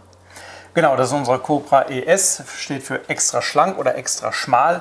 Das ist im Prinzip der Bereich, äh, wo ich mit einer normalen, wo haben wir sie denn jetzt? Da, genau. Mit einer normalen Wasserpumpenzange vielleicht nicht hinkomme, weil der Kopfbereich einfach dicker ist. Und äh, mit diesen schlanken Spitzen, wenn man das direkt vergleicht, habe ich halt die Möglichkeit, doch nochmal vielleicht den Dübel aus der Wand rauszuziehen, wo ich hiermit nicht drankomme oder einfach an engeren Stellen. Früher bei den LKWs zum Beispiel die Sicherung, die Sicherungskasten, das waren relativ dicke Relais. Und äh, wenn ich das mit einer Spitzzange gemacht habe, habe ich immer nur eine Zwei-Punkt-Auflage gehabt und bin oft abgerutscht. Und hier, wenn ich das so öffne, habe ich hier halt doch recht ein paralleles Maul. Ich bin trotzdem noch so schlank, dass ich zwischen den einzelnen Sicherungen komme und konnte die so besser rausziehen. Abgefahren. Du sagtest früher, jetzt nicht mehr?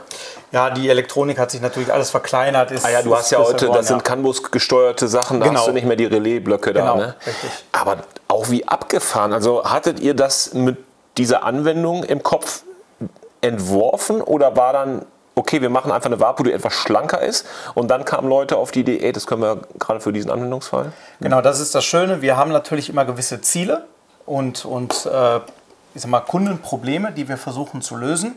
Das war tatsächlich ein, ein Resultat daraus. Also es war nicht unser Plan, die speziell für die, für die LKWs zu produzieren, sondern das war dann das Kundenfeedback, dass sie gesagt haben, Mensch, super Zange, da habe ich echt drauf gewartet. Endlich kann ich mein Relais tauschen, was kaputt ist. Und dann sagten wir, okay, hat man gar nicht mit gerechnet, aber super, dass es funktioniert. Das kennt ja auch jeder Schrauber. Ne? Du hast irgendwie ein Problem, du fängst an und auf einmal öffnet sich ein neues Problem und dann bist du erstmal am Grübeln.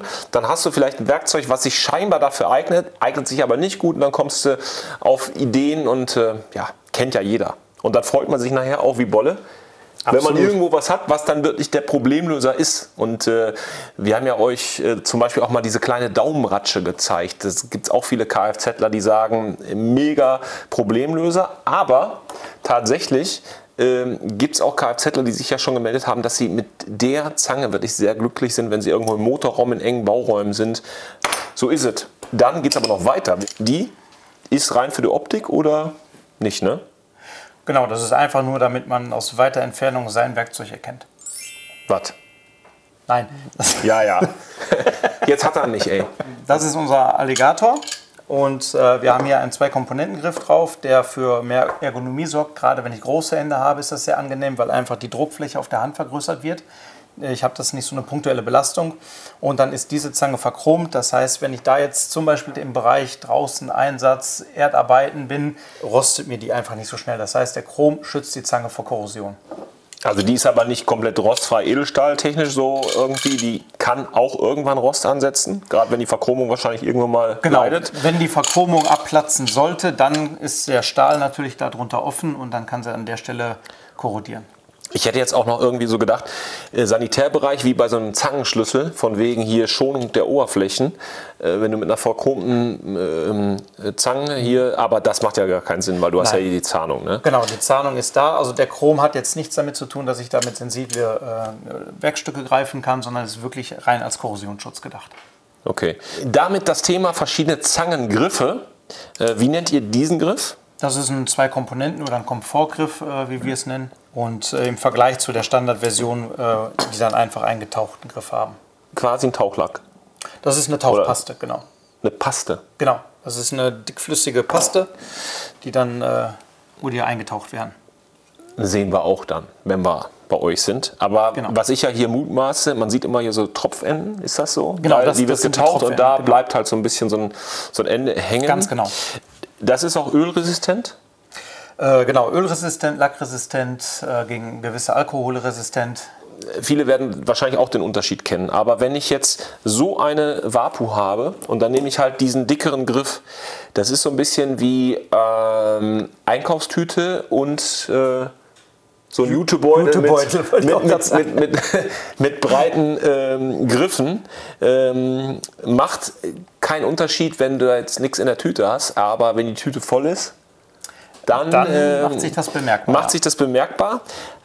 Aber wiederum, wenn es jetzt eng wird, sag ich mal von der Öffnung oder so, dann sind das ja auch ein paar Millimeter, die vielleicht dann schon auch wiederum ein Nachteil sein könnten, je nach Anwendung. Ja, definitiv. Dann hast du aber hier so einen Griff und ähm, ich bin jetzt auch nicht so ganz unbedarft in dem Thema. Das habe ich äh, schon mal behandelt. Hab gesagt, das ist, glaube ich, auch euer Patent so ein bisschen, eure, euer Merkmal, so ein Sattelgriff, ne? oder? Der ist leider tatsächlich von der Norm vorgeschrieben. Das ist also nicht unser Patent, sondern da gibt es äh, im Bereich isolierte Werkzeuge, wo dieses äh, Werkzeug zugehört, gibt es tatsächlich sehr starke Vorschriften und die müssen einfach alle einhalten. Also egal, ob es jetzt äh, Zangenhersteller A, B, C oder Knipex ist, sondern die müssen alle einhalten. Aber ihr habt auch bei normalen Kombizangen so einen Sattelgriff, oder? Genau, äh, das kannst du im Prinzip hier schon sehen. Auch hier haben wir so einen leichten Sattelgriff schon drauf. Das ist halt einfach wesentlich bequemer. Es hat ein, zwei Vorteile. Der eine Vorteil ist, wenn ich die Zange jetzt so in der Hand halte und sie sollte wieder etwas runterrutschen, wird das hier drüber aufgefangen in dem Daumenbereich. Das heißt, sie flutscht mir nicht aus der Hand. Einige Handwerker lieben es, wenn sie es in eine, in eine Hosentasche stecken, dann bleibt es da im Prinzip so ein bisschen dran hängen und die verschwindet nicht komplett da dran. Ja, aber das ist ähm, Geschmackssache. Da entscheidet jeder für sich, Ja, was da für ihn komfortabler ist. VDE sieht man natürlich jetzt auch wahrscheinlich der, der Grund auch, dass du nicht abrutscht in dem Bereich, wo es dann Ganz nicht mehr genau. isoliert ist. Ganz genau. Und hier hast du dann auch nochmal zusätzlichen Schutz. Genau. Es- nicht für den Daumen gedacht. Aber also wirklich hier ist Feierabend. Weiter sollte ich nicht greifen. Wir haben ja auch euch schon mal äh, VDE-Ratschen gezeigt. Die sind hier wirklich komplett isoliert. Das gibt es aber bei der Zange nicht. Also So, bei dieser wir. Zange nicht, aber es gibt komplett isolierte Zangen oder was wir auch im Programm haben, Zangen aus Vollkunststoff. Also da ist dann gar kein metallischer Bereich mehr dran. Komplett aus Kunststoff. Komplett aus Kunststoff. Hast du was mit? So Vollkunststoff? Vollkunststoffzange habe ich leider nicht mit. Aber wir werden ein äh, Lichtbild besorgen und das einblenden. Ich habe euch äh, neulich äh, von der Eisenbahnmesse äh, Werkzeug gezeigt, komplett in Messing. Ähm, hier wegen Funkenbildung und so. Funkenfrei. Funkenfrei, gibt es das auch von euch? Nein, das haben wir nicht. Das äh, funkenfreie Werkzeug ist ein sehr, sehr kleiner und spezieller Bereich, äh, der auch sehr hochpreisig ist. Und äh, da gibt es einfach Firmen, die da so etabliert sind, dass wir sagen, okay, ähm, da lassen wir einfach die Finger von. Das ist nicht unsere Spielwiese. Okay. Größentechnisch bei der ähm, Cobra ist hier mit der 560er. Genau, die Ende, ne? 560er ist aktuell die größte Variante und äh, die XS, die 100er, ist die kleinste Variante. Das ist aktuell die Range, die wir haben. Wenn du dir in den 80er Jahren ein äh, Auto aus Stuttgart äh, gekauft hast, dann war 560er auch das obere Level. 560 SEL. Das ist ja quasi die Knipex 560 SEC. Und wenn du Nee. ganz früher ein Mercedes gekauft hast, Ja. da war sogar im Werkzeugkasten Ja. eine Knipex Wasserpumpenzange dran. Yo. Ist heute leider auch nicht mehr. In der Textiltasche in Ochsenblutrot. Genau, Ne? Wart ihr auch bei dran. BMW drin? soweit ich weiß, nur bei Mercedes. Wir hatten Mercedes immer als Limousine, nie als Kombi, aber äh, dafür haben wir heute Kombizangen. War eine schöne Überleitung, ne? Haben wir wir. räumen mal eben um.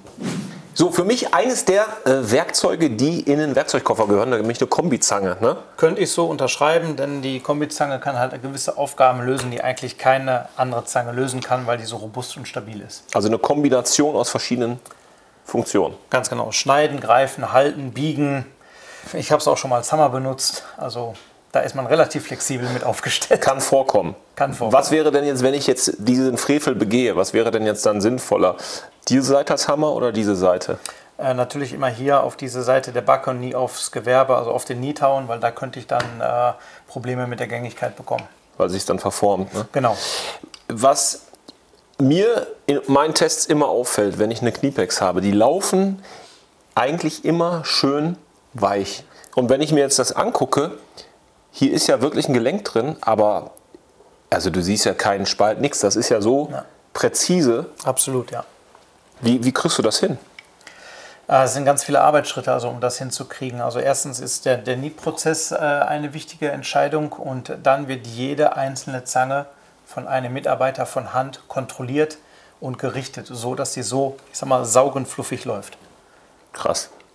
Und das äh, für Jeder den- einzelne. Und das äh, für den Kurs, ne? Denn wenn wir jetzt mal so schauen, ich glaube, das ist so Einstiegsklasse. Das ist das günstigste Modell, was wir da in dem äh, Bereich anbieten können, ja. So, und kostet im äh, landläufig bekannten Online-Versandhaus Um die 14 Euro. ja, so 14 Euro. Material, Arbeit, Know-how, Genau. Made in Germany, made in, made in Germany und ähm, hält in der Regel ewig. Es ist Ja, wie mit allen Sachen, wenn ich es nicht vergewaltige, dann. Ähm, Ja. also sie verzeiht viel, sagen wir es mal so. Was ähm, ist jetzt hier so auf dem Tisch? Wir haben ja verschiedene Varianten. Wenn man etwas länger was von seiner Zange haben möchte, dann greift man gerne auf verchromte Sachen zurück. Dann habe ich weniger Ärger mit Korrosion, äh, wenn sie dann auch mal eine Nacht draußen liegen bleibt, weil ich es vergesse mit dem Komfortgriff. Ähm, ich persönlich kaufe meine Zangen eigentlich fast ausschließlich in dieser Variante. Erstens habe ich nie Ärger mit Korrosion und das zweite ist, die Handwerker sind sehr preisbewusst, die steigen dann eher auf diese Variante um.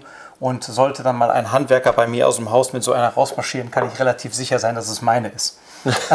Dann äh, kann ich direkt auf die Finger klopfen und sagen, lass mal meine Zange da liegen. Ist das so, dass Handwerker, die jetzt nicht so Handwerker greifen gerne auf diese äh, zurück aus zwei Gründen. Das eine ist tatsächlich einfach der Preis. Wenn ich jetzt eine kleine Firma habe, wo zwei, drei Handwerker sind, ist das vielleicht noch nicht so das Problem.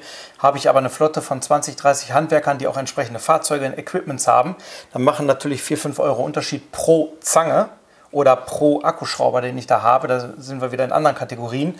Äh, das summiert sich dann natürlich sehr, sehr stark. Das ist das eine. Die zweite Aussage von, von professionellen Anwendern ist oft, dass äh, diese Zangen einfach weniger Platz wegnehmen im Werkzeugkasten. Dass ich also anstatt drei von dieser Variante bekomme ich vier von diesen rein. Ist nicht Das ist Ernst? einfach eine Platzvariante. Das ist, das ist die Aussage von vielen Kollegen. Vereinzelt kommt die Aussage, dass hier die Griffe dünner sind und dadurch ein schnelleres Feedback spürbar ist. Im Vergleich zu dieser, weil die natürlich mehr dämpft. Krass. Was es äh, alles für Details gibt, an die jetzt ich nicht denken würde. Ja. Andererseits, ähm, ich gehe komplett mit dir d'accord, dass ich, ja, dieser Griff, diese Version ist für mich, hat sowas Rudimentäres. Ja. So, finde, das ist ein Handschmeichler. Da, da, da, hast du direkt viel mehr Wertigkeit in der Hand. Absolut. Ich denke so, wenn jetzt meine Truppe irgendwie Werkzeug braucht, dann denke ich, okay, die Zange kostet 5 Euro mehr, aber wenn der Mitarbeiter äh, da Spaß dran hat, ist doch 5 Euro für eine Mitarbeitermotivation ein gut angelegtes Geld, oder? Es kommt immer auf deine Mitarbeiter drauf an. Wenn die auf das Werkzeug achten und es schätzen, dass sie gutes Werkzeug bekommen, genau. dann ist das die bessere Investition. Wir reden da von, von qualitativ hochwertigem Werkzeug. Spaß an der Arbeit, an dem, was ich mache, weil ich gutes Werkzeug habe. Äh, letzten Endes aber auch Ergonomie, Komfort für den Anwender, was dann wiederum Krankheitsstände reduzieren kann. Ja, wenn mir dann irgendwann nach dem zehnten Mal benutzen die Hand wehtut, weil ich so schmale Griffe habe und ich ausfalle, ist es am Ende des Tages teurer, als wenn ich 5 Euro mehr für eine Zange investiere, aber da einfach mehr Komfort habe und dadurch länger arbeiten kann. Jetzt hast du diesen Griff. Das ist jetzt ein Tauchlack, ne? Genau. Aber das, das ist ja auch nicht dieser Tauchlack, den wir vorhin gesehen haben, der so rau war. Dieser ist ja glatt. glatt. Ja. Gibt es diese Zange auch noch mit einem rauen Tauchlack? Nein, haben wir in dem Fall nicht im Programm. Äh, wir haben das so ein bisschen abhängig gemacht von der Industrie, wo die eingesetzt werden. Also da zum Beispiel bei der Wasserpumpenzange, wo ich von ausgehe, dass ich entweder feuchte Hände habe und meine Hände dadurch äh, flutschiger sind, ich mehr Grip brauche oder zum Beispiel im Bereich Landmaschinen, äh, Kfz, NFZ bin, wo vielleicht Öl an meinen Fingern ist, da brauche ich halt eine, eine Oberfläche, die griffiger ist das brauche ich hier nicht unbedingt. Mhm. Da kann ich dann eine glatte Paste nehmen. Die glatten Pasten kann man zum Beispiel auch besser reinigen. Das heißt, wenn sich die raue Paste mit Öl und Fette und sowas zusetzt, bekomme ich die wesentlich schwerer sauber als so eine glatte Paste. Also es ist immer so, so ein bisschen abhängig, was jetzt im Vordergrund ist. Ist es wichtig, dass die Zange sauberer ist oder ist es wichtig, dass ich einen besseren Grip habe bei der Zange, wenn ich den in der Hand halte? Also ihr redet jetzt nicht von Tauchlack, sondern von Pasten. Genau, das sind unsere Tauchpasten, genau. Es ist ja keine Farbe, sondern es ist eine dickflüssige ja, Paste, wie so ein Pudding, sage ich mal. Und äh, da werden die dann eingetaucht und dann gibt es halt diese zwei verschiedenen Pasten. Ich habe gerade Kopfkino, was man da alles eintauchen könnte in so einen. Kommt man da raus und dann Sehr hat, das, hat das so eine. wie groß sind die Eimer, die ihr habt? Oh, das sind, äh, lass mich nicht lügen, 1000 Liter Behälter. Nein, sind das, dann schon. das sind echt dann ja, so. Und das sind riesige Behälter, die in die Anlage eingefahren werden. Und dann gibt es äh, verschiedene Stufen, wo die durchfahren. Okay, hast du wie so eine Lackierstraße oder sowas, wo die Dinger genau. aufgehängt sind und dann tauchen die da ein und wie, genau. wie so ein Also die, fa die, die fahren nicht durch, sondern die gehen wirklich 90 Grad von oben rein und wieder raus. Ich freue mich schon, wenn ich bei euch bin. Sehr interessant. Schreibt mal unter das Video, was ich dann mitbringen soll. Können wir da was eintauchen? Da lässt sich bestimmt was ja? machen, ja. Ich rede mal mit dem Herrn Putsch. Ja. ja. Also ihr könnt ja mal unter das Video schreiben, was ich mitbringen soll, was wir da in diesen Container da reintauchen sollen. Das Kriegen hängt dann hier. Kriegen wir hin. Aber muss auch irgendwie Sinn machen, ne? Nicht irgendwie ein Brötchen oder so. das Thema Griffe kann man ja jetzt hier auch nochmal anschaulich sehen. Wir haben einmal VDE. Was ist genau. jetzt der Unterschied? War übrigens schon vorweggenommene Zuschauerfrage von euch und der Zuschauer meinte, ist das anderes Material oder ist es nur der Unterschied, dass es geprüft ist und das nicht geprüft? Das Material ist eigentlich das gleiche. Da gibt es keinen Unterschied. Der Unterschied ist einmal in der Materialstärke. Zum Beispiel ist hier im unteren Bereich, äh, wenn ich die Zange jetzt so aufschlagen würde, ist das Material dicker. Wir haben hier einen viel, viel größeren Kragen, dass ich eben nicht so schnell drüber rutschen kann, da reingreifen kann und dass jede einzelne Zange, das ist das Wichtige, über 10.000 Volt geprüft wird. Jede einzelne. Und diese Zangen sind komplett ungeprüft. Das heißt, sollte hier irgendwo ein Lufteinschluss sein in dem Kunststoff, was wir vielleicht nicht sehen von außen, würden wir das bei der Prüfung merken und die Zange würde ausfallen. Kann man das bei euch sehen? Kann ich mir das angucken, ja. wenn ich bei? Okay, ja. ja. interessant. Da können wir einmal prüfen, so dass alles in Ordnung ist. Und äh, wir können dir auch gerne einmal einen Kurzschluss zeigen, also wenn die Hülle eine Beschädigung hätte. Okay. Mal ganz blöd gefragt, ne? wenn ich jetzt eine VDE-Zange habe, ist es dafür gedacht, dass ich sage, okay, die Anlage muss spannungsfrei sein, aber sollte aus irgendeinem Grund dann doch Spannung, habe ich hier noch einen Schutz? Oder ist es dafür gedacht, dass die Leute sagen, okay, das ist nicht spannungsfrei, ich muss trotzdem dann arbeiten? Nein, die Hülle ist immer deine allerletzte Lebensversicherung. Es gibt gewisse Regeln, die eingehalten werden müssen. Spannungsfrei schalten, gegen Wiedereinschalten sichern, kurz schließen, äh, entsprechend abdecken, sich isolieren. Und sollte einer dieser Regeln oder im schlimmsten Fall alle Regeln nicht greifen, ist diese Isolierung deine letzte Lebensversicherung, dass du äh, heile aus der Sache rauskommst. Vielleicht mit ein bisschen Schrecken und äh, ein gebräuntes Gesicht vielleicht, aber gebräuntes Gesicht. Ich könnte mir auch vorstellen, so der ein oder andere unbedarfte Heimwerker könnte vielleicht sagen, ich habe eine VDE-Zange, da brauche ich die Sicherung nicht ausschalten. Besser nicht. funktioniert einmal, danach ist die Zange hin. Aber sie hat dein Leben gerettet. Das habe ich tatsächlich auch schon mal gesehen, dass so Zangen oder zum Beispiel ein Seitenschneider mal einen Kurzschluss mitbekommen hat und dann war die Schneide regelrecht verbrannt. Ja, genau. Du kannst also sehr, sehr deutlich unterscheiden zwischen einem Ausbruch, was, was durchs Arbeiten gekommen ist, äh, entweder einfach durch, durchs Alter, Materialschwäche, durch, durch, ich sage jetzt mal vorsichtig, Fehlanwendung, zu dickes Material oder, oder damit zu stark gearbeitet. Äh, das hat immer sehr, sehr scharfe Kanten beim Ausbruch. Ein Kurzschluss hat immer verschmolzene, runde Ecken und meistens findest du auch Kupferreste in der, Schneide, in der Schneide oder in dem Greifbereich eingeschmolzen, äh, sodass wir das sofort unterscheiden können. Dann ist wahrscheinlich aber auch nichts mehr zu machen. Ne? Nein, also Kannst sie ähm, wegschmeißen. Genau, das ist, das ist auch so der einzige Grund, den wir als Reklamation tatsächlich nicht gelten lassen, wenn einer unter Kurzschluss geschnitten hat. Dann hat er nämlich nicht seine Sicherheitsregeln befolgt. Alles andere kann äh, eingeschickt werden. Wir prüfen das jede einzelne Situation und entscheiden dann individuell, okay, das ist jetzt eine Reklamation, der Kunde bekommt einen kostenlosen Ersatz. Ähm, oder wir weisen den Kunden darauf hin, wofür das Produkt eigentlich gedacht ist, was er damit machen darf oder sollte und was nicht. Also äh, kommt das vor, dass Leute wirklich da einen Kurzschluss haben, Ja. das, das Ding ist total verqualmt und äh, Man kann es ja, ja mal versuchen. Ja. ja regelmäßig. Nein, Leute.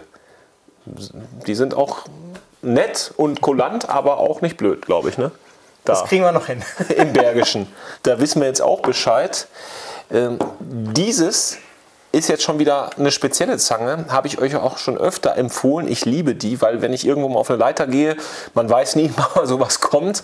Äh, wenn du irgendwo Elektrik machst, hiermit kannst du zumindest alles fast machen. Ne? Kannst auch mal ein Kabel durchschneiden. Ich meine, das ist ja jetzt hier ein schneidender Schnitt. Das ist ja, das ist ja genau. eine Schere, das ist ja kein Abknipsen. Und trotzdem, wenn ich so eine Einzelader habe und mache die mal eben kürzer, geht auch. ne? Wunderbar. Ja, Mache ich nichts kaputt mit. Absolut. Oder? Nein. So, und dann hast du auf der einen Seite so ein bisschen Kombizange, aber du bist auch relativ schmal, wenn du Genau. enge Räume hast. Und dann ähm, habe ich am Anfang auch so Learning by Bestelling, sage ich mal. Weil ich hatte so eine und dann habe ich eine andere gehabt, ich, was ist da jetzt anders? Und dann habe ich gemerkt, als ich die bestellt habe, die hat eine Feder. Feder. Ja, so. genau. Also die geht dann wieder, das kannst du dann so schön mit einer Hand, so machst du das ja so, du hast hier den Finger und öffnest die dann selber. Ähm, ja, und dann habe ich die lieber gehabt als die andere. Dann war die halt in den nächsten Werkzeugkoffer. Das ist halt einfach Geschmackssache. Ähm, wenn ich es wenn ich's mit Öffnungsfeder haben möchte oder ohne, das kann jeder für sich individuell entscheiden. Eine kleine Besonderheit bei der Öffnungsfeder ist halt, dass die Zange ganz marginal aufsteht, auch im geschlossenen Zustand, um halt das schnelle Abisolieren der einzelnen Litzen, was ich hier machen kann, zu beschleunigen. Das heißt, ich muss die nicht von Hand immer aufdrücken, sondern die geht immer bis zu diesem Bereich auf und dann kann ich wesentlich schneller meine einzelnen Litzadern abisolieren. Dafür hast du aber auch noch die äh, Sperre. Dafür ist dann die Sperre Genau, dran, dass genau. du dann wieder auch äh, verschlossen äh, einlagern kannst oder wo auch immer, damit sie Genau. nicht so viel Platz wegnimmt. So ein bisschen Kombizange ist dabei. Genau, das ist äh, im Prinzip die Kombizange schlechthin für Elektriker. Äh, ist, ist auch eins meiner Favoriten, denn wenn ich jetzt als Elektriker irgendwo hingehe, brauche ich im Prinzip nur eine Handvoll Werkzeuge für den ersten Schritt. Also ich würde immer die Elektroinstallationszange empfehlen. Ich würde immer einen Seitenschneider empfehlen, ähm, einen Schlitz und einen Kreuzschraubendreher. Und mit diesen vier Elementen kann ich erstmal losmarschieren. Damit kann ich Schalter, Steckdosen, äh, Lampen, Lichter, da kann ich erstmal alles mitmachen. Ich kann sogar im Sicherungskasten, weil die ist extra hier schlank, als, als Spitzzange nutzen, um vielleicht die ein oder andere Ader wieder aufzulegen. Ähm, kann ich sehr gut mitarbeiten. Wenn ich damit nicht weiterkomme, brauche ich in der Regel eben einen großen Werkzeugkoffer. Spitzzange hast du gesagt. Warum hast du die hier mit dazugelegt? Die Spitzzange habe ich dazu gelegt, ähm, denn wir haben eine Kombination im Prinzip gemacht. Und zwar, das ist unsere Spitz-Kombizange. Äh, und die vereint im Prinzip diese beiden Modelle hier. Das heißt, auf der einen Seite habe ich die Robustheit einer normalen Kombizange. Und äh, auf der anderen Seite habe ich aber die schlanke Spitze von dieser Spitzzange. Ich habe tatsächlich äh, ja ein Werkzeugset zusammengestellt. Äh, das habt ihr sehr wahrscheinlich schon gesehen, wenn das Video jetzt hier läuft. Und äh, da habe ich äh, aus Budgetgründen, weil da war die Vorgabe so, wir wollen um die 100 Euro bleiben für das komplette Set. Aus Budgetgründen habe ich gesagt, okay, eine Zange ist drin. Es sollte eine Markenzange sein, deshalb eine Kniepex. Und ich habe mich für diese Spitz-Kombi-Zange entschieden, denn gerade Spitzzange ist, Ja. wie du sagst, manchmal wirklich auch ein Troubleshooter, wo du hiermit nicht reinkommst. Und äh, ich habe mir so gedacht, wenn ich jetzt wirklich viel Kraft brauche, was, was hierfür vielleicht spricht, dann bin ich vielleicht auch schnell bei einer Wapu-Zange oder brauche eh ein bisschen was Größeres und bin nicht mehr so in dem universellen Bereich. Aber du hast ja hier noch was, du hast nämlich ein Loch, ne? Aber das ist Genau. not a bug, it's a feature. Genau, das ist ein Feature, äh, was ich für zwei Elemente nutzen kann. Das eine ist für vielleicht den Heimwerker oder Handwerker, der nicht ganz so oft einen Hammer und einen Nagel in der Hand hat und äh, jeder kennt es selber, dann haut man daneben und dann ist der Daumen schön dick. Also Das heißt, da kann ich den Nagel einfach einlegen, kann es dann äh, an der Wand halten oder Holz, wo ich immer dann mit dem Hammer draufschlagen. Das heißt, ich würde im schlimmsten Fall die Zange treffen, aber nicht mehr meine Finger. Im Elektrobereich kann ich da sehr gut zum Beispiel zweieinhalb Quadratkabel in eine Sicherung oder in einen Automaten reindrücken, habe eine Führung ohne die Isolierung zu beschädigen. Beides so smarte Sachen muss man erstmal wissen. Kommt man sonst vielleicht nicht ganz drauf. Was ich auch nicht so im Bewusstsein hatte, ist, äh, wenn wir zum Beispiel Zangen auch zeigen, dann hältst du die mal gegens Licht, wie gut die schließt. Und da habt ihr gesagt, im Prinzip, wenn das jetzt hier komplett zu wäre, hättest du ein Problem, weil du musst ja mit dieser Schneide hier auch schneiden und dafür brauchst du ja etwas Überlappung. Genau. Das heißt, wir müssen vorne etwas äh, Luftspalt haben in dem Greifbereich. Das heißt, ich kann also zum Beispiel kein Folienblech, ein Hundertstel Folien oder 200 Folienblech, was in Werkzeugbauten verwendet wird, viel um Werkzeuge zu unterlegen, äh, kann ich damit nicht zum Beispiel greifen und ziehen. Äh, denn wir müssen immer sicherstellen, weil die Schneidfunktion da ist, dass ich schneiden kann. Und dann tritt die Greiffunktion an zweiter Stelle. Ja, also dafür wird es dann ähnliche Zangen geben, die die Schneide nicht haben, die eine reine Greiffunktion haben, mit der könnte ich wieder dieses dünne Folienblech greifen. Die sehen dann aus wie eine Kombizange, nur ohne Schneide. Nur ohne Schneide. Okay. Genau. Ist dann aber keine Kombizange mehr. Ist dann eine reine Greifzange, keine Kombizange mehr. Okay, Greifzange ist der offizielle Begriff. Jetzt hast du aber noch hier vier Kandidaten. Ich fange mal mit der an, Genau. weil die sieht für mich erstmal relativ ähnlich aus. Genau. Äh, beides sind Kombizangen. Der Unterschied ist, dass dieses eine, sag mal, Standard-Kombizange ist und dieses eine Kraftkombizange ist. Das heißt, das Gelenk ist hier wesentlich höher übersetzt und ich kann mit dieser Zange viel mehr Kraft aufbringen, zum Beispiel um was zu halten oder einen Nagel zu durchtrennen, was mir dann leichter fällt im Vergleich zu der hier. Was heißt denn übersetzt, dass der Drehpunkt weiter hier Der ist? Drehpunkt ist hier mehr Richtung Schneiden, Mitte. Also Ja. hier habe ich ungefähr die Mitte und habe nur ein paar Millimeter bis äh, zur Schneide. Und hier bin ich, äh, ist der Drehpunkt zur Schneide viel weiter weg. Ja. das ist das einfache Hebelgesetz. Dann je weiter ich von meiner Schneide weg bin, umso schwerer wird es für mich, das Material zu durchschneiden. Je näher ich dran bin, umso leichter wird es für mich. Aber dann denke ich, das schreit doch ein bisschen nach Praxis, weil noch haben wir überhaupt nichts für unser Geld hier getan. Wir, Genau. wir äh, reden nur rum. Ja. Äh, hast du ein paar Drahtstifte mit? Habe ich alles mitgebracht. Kannst dir die dicksten aussuchen. Ich mache erstmal jetzt hier mit der Kombizange.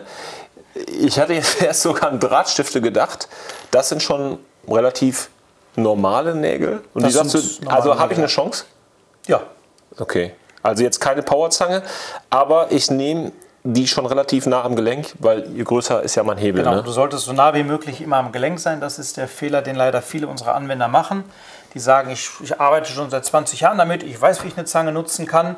Und stehen dann und drücken sich einen Wolf und dann steht da so ein Hämpfling daneben und knappst das so durch, einfach nur, weil das richtig nah genug am Gelenk angelegt ist. Was man nicht hier hat, muss man hier haben. Ja, genau. So, ich mache jetzt den äh, Versuch, aber ich will natürlich auch sicher unterwegs sein. Deswegen eine dezente Schutzbrille. Jetzt sieht die Welt gleich auch viel bunter aus. Ja. So, Äh, klar brauchst du Kraft, aber die ging gut durch. Genau. Ja. Was ich natürlich jetzt auch denke, liegt auch daran, dass die Schneiden auch schon recht scharf sind. Ne? Die werden alle von Hand auch nochmal nachgefeilt, dass die auch wirklich Nee. funktionieren. Von Hand? Von Hand. Krass. Weißt du, es gibt ja auch viel Plagiate, Billigkram und so weiter. Wenn du da so eine Kombizange hast, sind das dann auch Sachen, wo dann noch mal jemand nachfeilt oder so? Und was bei, meinst bei du? billigen Produkten auf keinen Fall. Das können die sich einfach nicht leisten. Bei teuren Produkten ja. Weil du kannst noch so genau schmieden und, und eine CNC-Bearbeitung machen. Du hast so viele Variablen drin, du musst die Zange von Hand nochmal prüfen. Aber du sagtest jetzt nachfallen. So, jetzt habe ich die Zange drei, vier, fünf Jahre in Gebrauch und denke so, hm, könnte ich hier vielleicht mal nachschleifen oder so? Ist das dafür gedacht? Gibt es einen Schärfdienst, wo ich das dann Nein, Chefdienst haben wir nicht. Du kannst es ähm, bis zu einem gewissen Grad mit einem Läppstein nacharbeiten, aber wenn du große Macken drin hast, dann sind die halt drin. Okay. Also wenn du diese Ausbrüche hast, Ja, genau. Einen Ausbruch, den bekommt man nicht mehr beigefallen. Kannst du was aufschweißen. Reparaturschweißung für eine Ja, Kombizange. es ist halt gehärtet, also mit einer normalen Pfeile kommst du da eh nicht weit. Genau, da hast du jetzt eine Kraftkombizange. Das war die, die normale klassische Kombizange, wie sie jeder kennt. Das ist jetzt die Kraftkombizange mit, dem, mit der höheren Übersetzung im Gelenk, Was ich jetzt merke, ich drücke nur wenig, ich merke aber, wie die Schneide sich schon, wie die schon reinarbeitet. wie die rein, sich Ja. reinarbeitet. Ja. Das äh, war jetzt interessant. Du merktest über den ganzen Schnitt eigentlich, wie sich die Schneide in das Material reinarbeitet. Ja. Hier war es wirklich so, ah, ah, ah, und dann war der Druck so groß, dass es so fast Genau. wie abgesprengt. Du drückst und dann sagt es klack, dann bist Ja, du durch. Und genau. bei der kannst du viel feiner dosieren, weil du einfach weniger Kraft benötigst, aber mehr Kraft aufbringst. Mega. Das ist, glaube ich, so meine neue Leidenschaft. Krass. Macht richtig Spaß. Also wenn das so Absolut. fluppt, ne? Absolut. Krass. Jetzt gucke ich aber noch mal. Jetzt gibt es wieder Trockenbrot. Jetzt habe ich nur Geld für eine Zange. Das ist jetzt die Spitzkombizange. Genau. Würde ich die mit kaputt machen damit? Nein, auf Nee. keinen Fall. Die hat nämlich auch ein sehr hoch übersetztes Kraftgelenk. Und das geht auch so leicht Alter. Gevatter. Geht sogar leichter als Das, das hätte ich jetzt nicht mit gerechnet. Das war. Warte mal. Müssen wir diese Brille immer wieder aufsetzen? Ich gehe einfach mal einen Schritt nach hinten. Also das ist ja die normale. So. genau. Also gefühlt. Nee, das ist nicht gefühlt. Das geht leichter. Das geht leichter. Ja. Das Weil Hammer. hier ein, ein Standard, also bei, bei der oder bei der ein Standardgelenk verbaut ist und hier ist Jo. wieder ein Kraftgelenk verbaut. Wahnsinn. Hättet ihr das gewusst? Also die Technik ist mir schon klar. Aber dass du einfach auf die Zange guckst und sagst, okay, Kraftgelenk oder hier nicht und da Kraftgelenk, weil das Gelenk näher hier an der Schneide dran ist, ist ja auch ganz einfach. Mega. Wenn man es weiß. Wenn man es weiß. Aber dafür sind wir ja hier. Wir wollen ja jetzt hier nicht äh, dümmer aus der Sendung rausgehen, als wir reinkommen. So, Kraft ist also schon mal hier kein Thema. Äh, Die Frage ist, gibt es noch längere Kombizangen? Oder ist das hier Max? Also als Kombizange im Prinzip ist das die größte Variante, die wir haben, die 240er. Die wird auch bei uns als Lineman's Pliers bezeichnet. Als was? Lineman's Pliers. Das ist in den USA ein Beruf. Das sind die Kollegen, die auf dem Strommaster hochklettern, diese Holzmasten und da die Strippen ziehen und verbinden. Und der Amerikaner, Leatherman, kennst du ja auch, ist halt so Kombinationswerkzeuge. So viel wie möglich, so viele Funktionen wie möglich in einem Werkzeug. Und äh, das bietet äh, diese Zange hier zum Beispiel. Das heißt, ich habe hier äh, im Prinzip einen Seitenschneider dran. Ich habe hier äh, Greiffunktionen dran. Ich habe hier Krimpfunktionen dran. Und wenn du die Zange nochmal umdrehst, genau habe ich hier eine Drahtzugfunktion dran. Das heißt, ich nehme jetzt einfach mal den Nagel. Wenn du die öffnen würdest, die Zange, Ja. kann, und jetzt schließt, Ja. dann wäre hier der Draht und dann kannst du einfach ziehen und könntest den Draht Ach. spannen damit. Krass. Aber wenn du das zudrückst, den kriegst du nicht mehr raus. Nee, will ich jetzt nicht. Ich habe auch irgendwie Angst, dass im Nagel was passiert.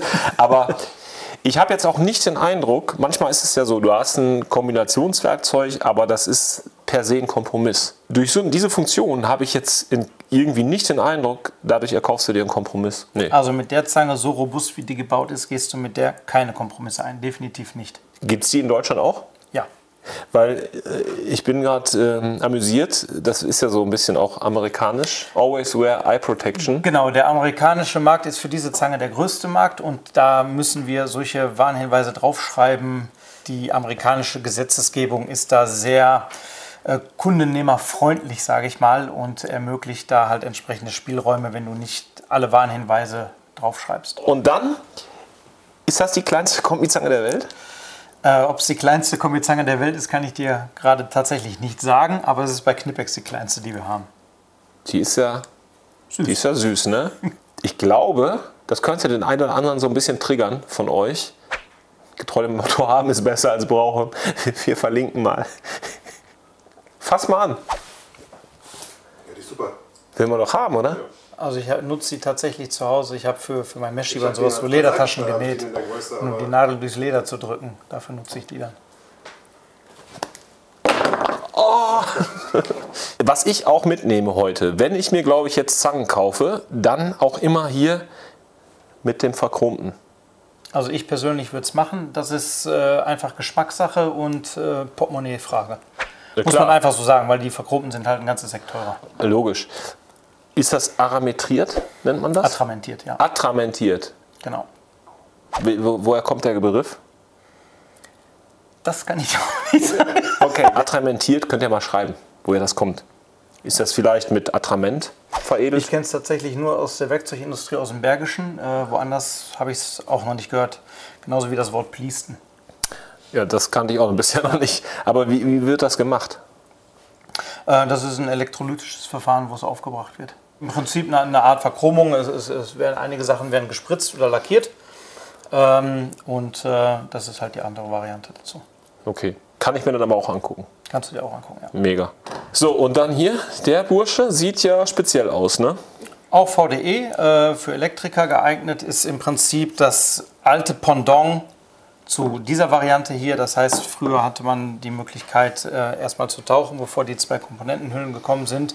Davor gab es schon einkomponentige Hüllen.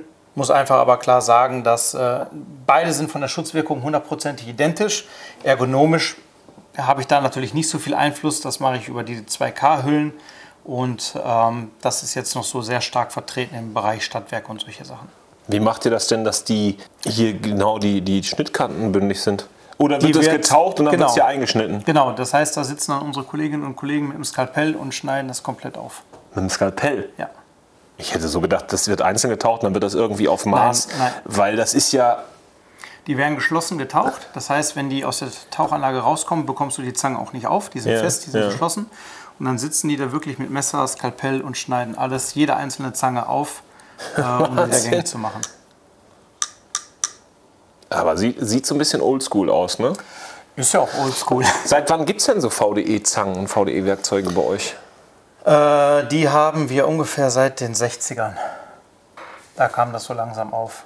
So, jetzt haben wir gelernt, mit einer Kombizange kann man wirklich erstaunlich gut auch Sachen abschneiden, Nägel äh, kürzen, was auch immer. Wahrscheinlich Schrauben.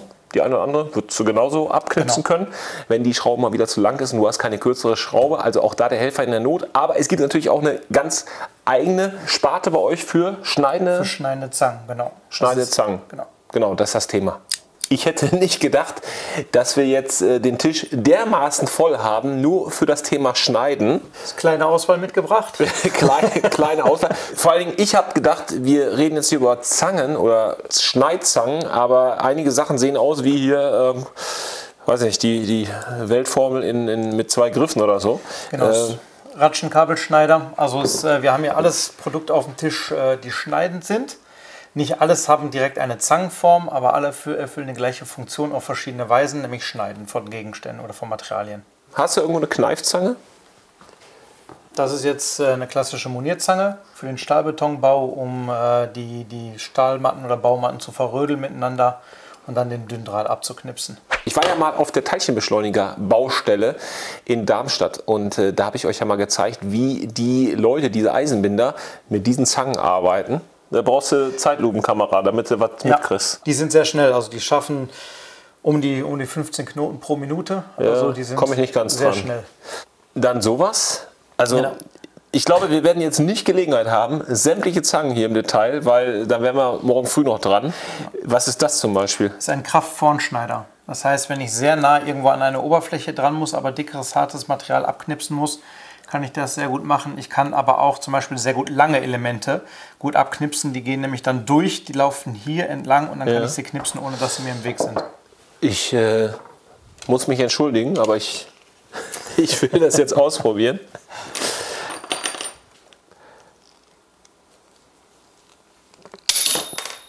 Ich habe gerade gelernt, man sollte dann die Hand nicht so halten hier mit den Fingern, weil Ah, das dann zusammengeht. Ja. Habe ich, ich habe was gemerkt, sagen wir es mal so. Ähm, aber es war recht einfach. Mit einer Modierzange kannst du das eigentlich vergessen. Ne? Genau, mit einer Monierzange würde ich es nicht machen. Ist ja auch nicht dafür gedacht. Ganz genau, die ist halt für dünnen Draht zum, zum Verdrillen und dann zum Abknipsen, nicht für solche dicken Nägel von, von 3,2 mm. Ähm, hier so Bolzenscheren kenne ich. Ne? Habe ich auch schon Baustahl öfter mal mitgeschnitten. Das hier ist die klassische Fahrradschere, glaube ich. Ne? Genau, genau. Das heißt, äh, wenn man auf der Suche nach neuen Fahrrädern ist, schaut man sich am Bahnhof mal um und äh, nimmt dann das mit, was einem gefällt. Also ähm, wir haben tatsächlich regelmäßig Kooperation mit der Polizei. Äh, aus genau diesen Gründen, äh, die dann fragen, ob sie Schliffbilder und Geometrien von unseren Bolzenschneidern haben können. Denn die Schneidgeometrien und Profile sind doch sehr äh, markant und charakteristisch und dadurch können die tatsächlich herausfinden, war es ein Knipex, war es ein von der Firma A, B oder C, ein Bolzenschneider, um so die Gruppe der Verdächtigen einzugrenzen. Ach krass. Und da wird es wahrscheinlich, wenn die so einen Aufwand machen, wird es wahrscheinlich nicht um ein Fahrrad gehen, oder? Äh, da geht es dann meistens um kostspieligere Sachen. Äh, was verraten sie uns natürlich auch nicht, aber die Kooperation haben wir regelmäßig mit der Kriminalpolizei. Erinnert mich so ein bisschen, äh, wenn die Kriminalisten früher recherchiert haben oder nachgeschaut haben an einem äh, Schriftbild von einer Schreibmaschine.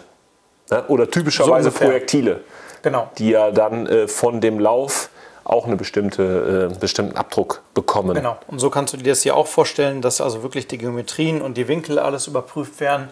Äh, Die bekommen von uns technische Zeichnungen dann und äh, oder auch Fotografien, wie die Schneiden bearbeitet sind, um diese Spuren halt digital zu übernehmen und dann auf das ähm, ja, zu untersuchende Element zu übertragen. Was hätte ich dafür zu investieren? Für die ungefähr? Aber die hält ja auch, ne?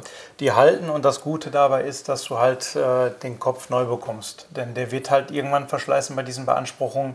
Und äh, für, für ganz, ganz viele Zangen haben wir tatsächlich Ersatzteile, die man erwerben kann, sodass du eine, eine Zange nicht wegschmeißen musst, sondern dann gewisse Teile einfach austauschen kannst und die dann halt weiter benutzen kannst. Hast du was, was ich hiermit mal Ganz klassische Anwendung, Baustahl? 13 mm. Ja, geht. Ja, Geht. habe ich keine Bedenken. Aber ich würde mal gucken, äh, wird es auch hiermit gehen? Die 13 mm nicht, nein, da wäre bei 6 Feierabend. Ach so, ja, die Öffnung, das geht nicht. Genau. Der Hebelweg fehlt auch. Ja. Jetzt müssen wir dazu sagen, das wirst du so nicht hinkriegen, sondern den müssen wir auf dem Boden auflegen. Also du setzt den so auf dem Boden auf, Ja. einen Fuß hier drauf Ja. und drückst den dann runter. Und dann halte ich das gut da rein. Ist ausgeschlossen, dass ich das so kriege? Ich habe es in, in den acht Jahren habe ich es ein einziges Mal gesehen, dass es einer geschafft hat. Ja. Pass auf. Challenge accepted. Top, die Wette gilt. Alter, Äh, gut, aber vielleicht so. probier es so, ja. Ja, so könnte es gehen. Pass auf, der, der fliegt jetzt äh, Richtung Kamera dann. So. Echter Einsatz. Aber nicht, dass ich mir was tue. Wie weit geht der zu? Nicht, dass der auf einmal löst und ich hau mir das Ding irgendwo in die. Also auf den. Sch- Der ist eigentlich ein bisschen Der, doof. der Weg wäre genau richtig, um äh, ein wenig höher zu sprechen nachher. Nee, das, da habe ich jetzt Respekt. Wie gesagt, mach es lieber so, wie ich es dir gezeigt habe, oder so. Ich habe hier das Gleichgewicht. Der muss. Das Problem ist. Schraubzwingen als Anschlag, ja.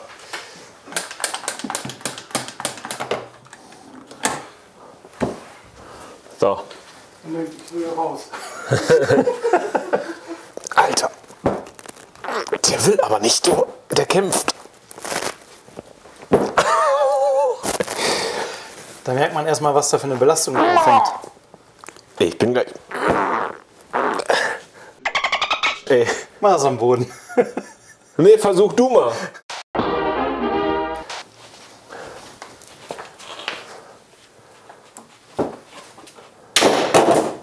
Krass. Der ist geflogen.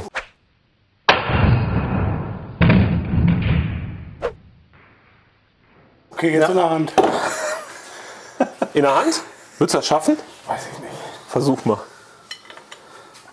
Jetzt geht, pass auf, jetzt geht der nach oben weg, ne? Ja, leg den, leg den so, genau. Voll in die Röhre rein und dann. Nee. Aber ich hätte es echt gedacht. Ja, habe ich auch gedacht.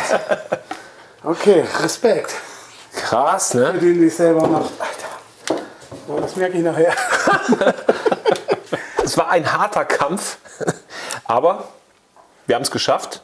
Also mit Unterstützung. Jetzt siehst du aber auch, das ist bis hier geschnitten. Und dann macht's Knack, ne? Genau, du kannst ungefähr sagen, dass du dabei äh, ungefähr die Hälfte schneidest und die andere Hälfte bricht einfach weg. Ja, Wahnsinn. durch die Kompression des Materials platzt das dann weg. Jetzt in einer Stunde da 50 Stück, glaube ich, könntest du mich Also wegtun. das ist auch super anstrengend und das ist halt der Grund, warum, ähm, wenn ich das viel mache, halt Winkelschleifer immer mehr an, an Priorität gewinnen dabei. So, und das ist bis 6 mm, hast du gesagt? Genau, das geht ungefähr bis 6 mm oder 8 mm, je nachdem, wie hart das Material halt ist. Das sind so die, die Klassiker, diese Variante oder die große, was ist mal auch bei, bei Feuerwehr, THW und sowas zum Einsatz kommt, äh, um dort entsprechend in Hinterhöfe oder sowas reinzukommen, wenn es da brennt. Also hiermit könnte ich dann aber auch zum Beispiel so eine Kette. Genau, das kannst du damit spielen, aber dafür hätten wir sogar noch kleinere Kollegen, die das auch schaffen. Na, ich probiere erst mal hiermit. Ja. Ich Das ist mal, dafür gar kein Thema. jetzt sind wir hier richtig unterwegs. Aber wie gesagt, bei, äh, bei solchen Ketten, da ist das schon ein relativ großes Werkzeug. Da gibt es dann hier auch äh, entsprechend den kleinen Kobold, äh, der die gleiche Kraft hat, um diese Kette zu schneiden. Seit wann gibt es den Kobold? Ungefähr seit 1988. Ach so, noch gar nicht so lange. Nee, gar nicht so lange, genau. Wenn man sich die Geometrie hier anschaut, so ein bisschen das Prinzip, Genau. auch so mit hier der Umlenkung. Genau, Ne? Kobold ist auch die Abkürzung für Kompaktbolzenschneider. Also Nee, daher echt? kommt das, ja. Daher kommt der Name. Donnerwetter, wir lernen wieder dazu. Dann legen wir den da rein. Ja, aber ich muss ja erst die Brille aufsetzen. Ja. Ja. Kobold, kompakt Bolzenschneider. Das hätte ich im Leben nicht gewusst. Ich dachte gerade, deshalb fragte ich nach dem Alter, ob das vielleicht auch irgendwie so 50er, 60er Jahre, das wäre dann so Zeitgeist gewesen, Ja. dass man so Werkzeugen dann Namen gibt. Ja, das, das äh, kommt im Prinzip so ein bisschen daher, es ist immer unterschiedlich, ob wir äh, Produkten Namen geben oder nicht. Also der Kobold ist zum Beispiel einer, äh, der Cobra, Alligator, alles so 70er, 80er Jahre, da hat man auch noch viele Namen vergeben. Danach wurde das halt weniger, dass man einfach in Artikelnummer oder beschreibende Namen gegeben hat. Er ist jetzt Kobold, hat aber trotzdem hier eine Nummer. Hier so einen ganz klassischen Seitenschneider. Ja. Der hat jetzt keinen Namen. Nein, der ist einfach nur Kraftseitenschneider. Du hast So, den, den aber er hat- Seitenschneider und aber den der hat eine. Nummer. Genau, diese Nummer verrät mir, dass es ein Kraftseitenschneider ist. Dir. Mir, ja. Mir nicht. Was für mich logisch ist, ist 180 Länge. Genau. 180 oder die letzten drei Zahlen sind in der Regel immer die Gesamtlänge des Werkzeugs und äh, gilt fast für alle Produkte. Sag mal, hier ist das beste Beispiel, wo es nicht gilt. Aber bei den Zangen, bei den klassischen Zangen gilt das so. So, und dann ist wahrscheinlich das die. Die 74 ist dann in dem Fall bei uns die Artikelgruppe für Kraftseitenschneider. 70 wäre jetzt der ganz normale Seitenschneider, den ich hier da. Ja, das wäre dann die Artikelnummer 70. Uns sagt das dann immer 70, weißt du immer, ist ein normaler Seitenschneider. 74 ist immer ein Kraftseitenschneider. 71 sind immer Bolzen- oder Kompaktbolzenschneider. So haben wir immer unsere Ru- Rubriken. 95 sind immer Kabelscheren. So, und dann die 12 Äh, ist dann das spezifische Modell. Genau, also in dem Fall ist es so, dass die dritte Zahl individuell ist. Das kann mit Öffnungsfeder sein, das kann ohne Öffnungsfeder sein, das kann gekröpft sein, also die ist nicht definiert. Und die vierte Zahl gibt dann wieder ganz klar vor, in dem Fall die 6 hier, verchromt VDE-Griffe. Und da ist es dann, wenn du hier schaust, die 2 heißt immer, wir sagen dazu eine schwarze Zange, also atramentierte mit zwei Komponentengriff. Okay. Eine 01 wäre dann im Prinzip diese Variante hier. Ja, schwarz und getauchte Griffe. Damit kannst du auch schon mal wetten, das Auftreten, ne? Ich wette, dass ich alle Kniepex-Zangen an ihrer Nummer erkenne. Äh, was ist mit dieser Spange hier? Genau, das ist unsere Öffnungsfeder Ja. äh, bei diesem Modell. Und das Schöne dabei ist, ich kann mich entscheiden, ob ich sie haben möchte oder nicht. Jetzt habe ich sie nicht. Ich habe einen ganz normalen Seitenschneider. Mache ich die Zange auf, nehme den Daumen, flippe die rum zur anderen Seite, auf die andere Seite vom Schenkel, habe ich eine Öffnungsfeder. Wenn ich es nicht mehr haben will, schiebe ich es einfach wieder Ach, zurück. wie cool. Ich habe mir nämlich gedacht, sag mal, äh, funktioniert das Ding jetzt nicht? Und dann habe ich hier so dran rumgedrückt, aber da passierte nichts. Das heißt, ich muss die, Rüber zur anderen Seite. nee, ich muss die, die aufmachen. Also Ja. ich hatte die nicht ganz auf, weil dann sperrt die. Und Ja, jetzt, genau. Jetzt hast du mit Öffnungsfeder. so, und wenn ich jetzt wieder umgedreht, dann Hast du einen ganz normalen Seitenschneider. Ey, das ist ja so einfach gemacht, ne? Das finde ich gut. Echt so einfach und genial. Und ziemlich robust. Und ich könnte mir vorstellen, dass es vor den Fernsehschirmen, vor dem Bildschirm im In- und Ausland Leute gibt, die so ein Ding haben Und es nicht wissen. und es nicht wissen. Das ist die ganzen, all die Jahre. Und äh, wir werden jetzt wahrscheinlich Dankschreiben erhalten. Zu Tränen gerührt sind die Leute, dass sie die Öffnungsmechanik. Nee, also ich zähle mich aber dazu. Du siehst mich staunen, aber wir sind noch längst nicht am Ende unserer Reise. Genau. Also der, der Hauptunterschied bei, bei schneidenden Zangen ist halt einmal die Schneidenhärte, welche Materialien ich damit schneiden kann, aber auch die Schneidengeometrie. Ja, wir haben hier zum Beispiel einen äh, Seitenschneider für Kunststoffe. Da steht auch ganz dick drauf für Plastik. Und ähm, du siehst, dass sie hier relativ scharf gehalten ist. Wenn ich da jetzt ähm, den Kraftseitenschneider dagegen halte, dann siehst du, dass hier diese Facette, die Phase viel, viel größer ist. Ja. Ich, Ja. mach, ich räume mal ein bisschen auf hier zwischendurch, damit wir da ein bisschen Platz haben. Und ähm, dadurch ist die Schneide in dem Fall viel robuster. Das heißt, sie ist anders gehärtet und hat einfach eine höhere Widerstandsfähigkeit im Vergleich zu der. Das heißt, wenn ich jetzt mit dem hier hingehen würde und ich schneide den hier durch, ist das überhaupt kein Problem. Du wirst an der Schneide gar nichts sehen. Ich habe den gleichen Nagel. Mache ich das mit der Warte hier. mal, warte mal. Das ist doch nur für Plastik. Genau. Vielleicht kriege ich es durch, vielleicht auch nicht. Ich kriege es durch, aber wenn du guckst, habe ich dann auch entsprechende Beschädigungen daran. Geht doch noch, oder?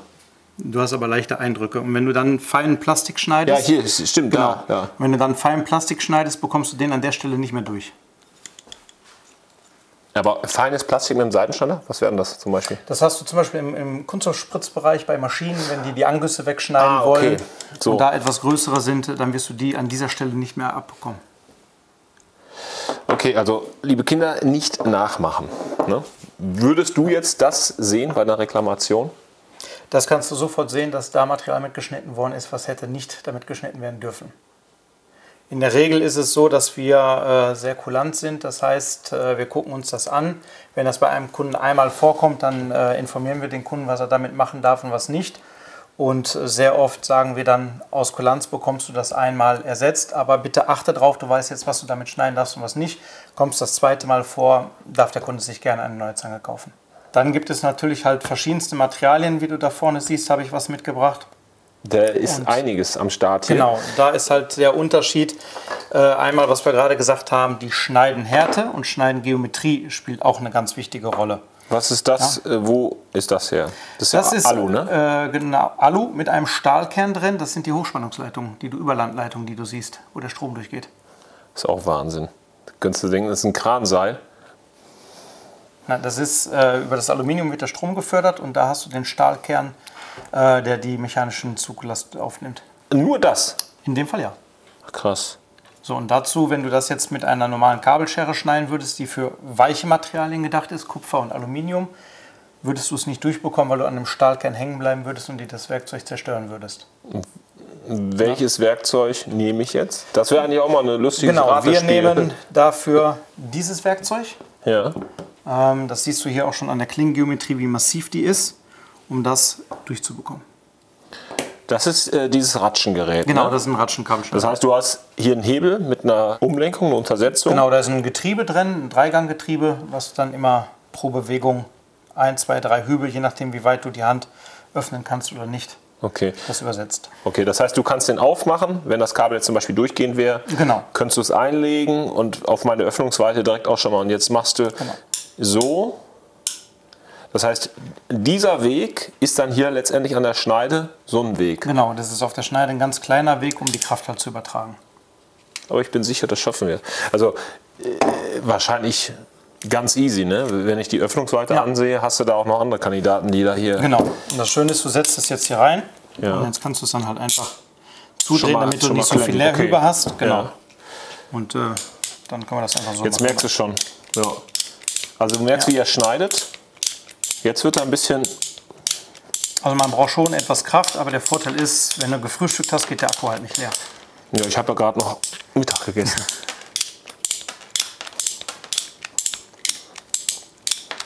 Das ist ja auch das Schöne an so einem Kabel. Man wird zwischendurch immer belohnt, weißt du? du Ja. aber ich sehe, aber es fällt schon Stück mal was. Stück Stück für Stück. belohnt. Du siehst schon mal, es geht was vorwärts. Genau. Und das war der Stahlkern. Und äh, was ist mit sowas hier? Genau, für so dicke Erdkabel haben wir dann entsprechend hier große Ratschenkabelschneider, weil das bekommst du von der Hand nicht hin. Hier ist auch das gleiche Prinzip. Ich öffne das, kann einfach umschwenken kann das Kabel einlegen, schließe das und dann fange ich an zu ratschen. Das gleiche Prinzip, nur dass die Klinge halt dünner und schärfer ist. Okay. Die Klinge kann ich aber dann auch mal austauschen, ne? Genau, die Klinge gibt es als Ersatzteil, es gibt auch den Körper als Ersatzteil. Aber ich sag mal so, wenn du das hier alles verwurstet hast, dann äh, Kannst du auch komplett kannst neu. auch komplett neu kaufen. Genau. So, jetzt ist er geklemmt. genau. Und jetzt gibt es hier eine Besonderheit. Dieser Bereich ist höher als dieser. Das Ja. heißt, du kannst es jetzt hier aufsetzen Ja. und kannst jetzt mit deinem ganzen Körpergewicht arbeiten, ohne dass du es über die Hand machen musst.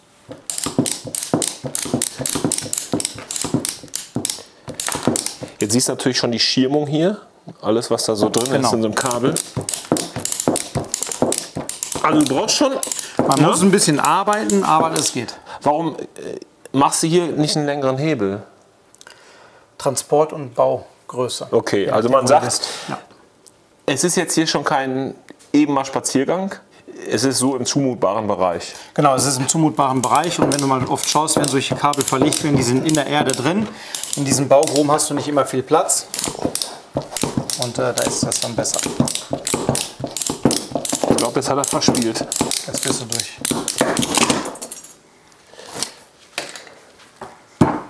Sauberer Schnitt, ne? Absolut. Findige Zuschauer könnten jetzt auch äh, anhand des äh, Leerwegs und anhand des Kabeldurchmessers die Übersetzung rausrechnen. Wenn wir da welche haben, Ja, gerne. kleine Rätselaufgabe. So, wenn jetzt aber jemand das häufiger macht, ist er dann nicht auch elektrisch unterwegs? Da gibt es entsprechend von Anbietern elektrische äh, Kabelscheren, die das können. Und äh, klar, wenn's, wenn ich es 20, 30 Mal am Tag mache, wird das auch entsprechend gemacht. Dennoch haben die meistens immer noch so ein Werkzeug ähm, im Wagen. Einmal Baugröße, manchmal ist es einfach auch die Transportstrecke. Äh, für einen Schnitt muss ich dann nicht unbedingt 4 Kilo mitschleppen, sondern dann nehme ich so ein kleines Gerät mit. Und äh, das ein oder andere Mal soll es vorkommen, auch im Winter, dass der Akku leer ist.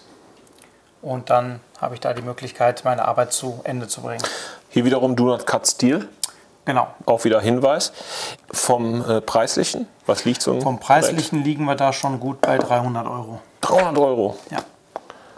Das ist aber auch jetzt die Version, die dann entsprechend ähm, VDE getestet ist, na, mit allen Sicherheitsprüfungen und Regeln, die du da hast. Und du hast ja jetzt hier noch welche. Was, was, wofür sind die dann? Genau. Das sind einfach nur andere Kapazitäten. Ja, also wenn ich nicht immer so große Kapazitäten habe, dann kann ich auch den kleinen nehmen. Der ist natürlich auch preislich günstiger und äh, so spiegelt sich das bei den anderen auch wieder. So, der sieht äh, auch mächtig aus.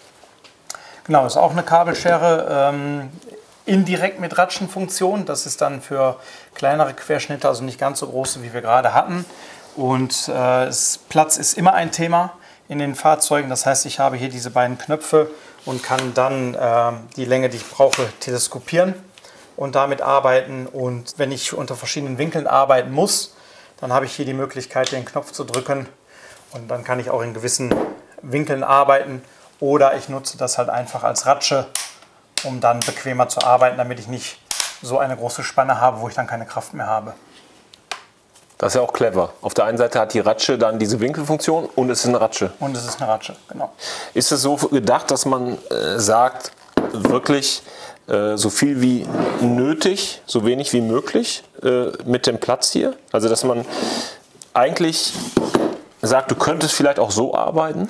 Genau, wenn du ganz kleine Querschnitte hast, kannst du natürlich auch so arbeiten. Was wäre denn jetzt zum Wenn du Beispiel? jetzt äh, größere hast, dann wird es natürlich Nimmleitung ist ja, Ja, jetzt gut, hier jetzt- Piece of Cake, ne? völlig uninteressant dafür. Ja. Genau. Da kannst du dir zehn Stück nebeneinander nehmen. Aber hier der ist natürlich. Der ist Draus, Nummer zu ne? groß dafür, ja. Und jetzt steht auch wieder hier CU, also Aus Kupfer, Aluminium, und Aluminium und nur. Bis Durchmesser 38. So, aus unserer Asservatenkammer noch mal ein bisschen äh, Kabel. Könnte ich den ganzen Strang jetzt einfach auch so komplett? Ja. Gut, Würde ich probieren teleskopieren und dann Ja. geht es am einfachsten.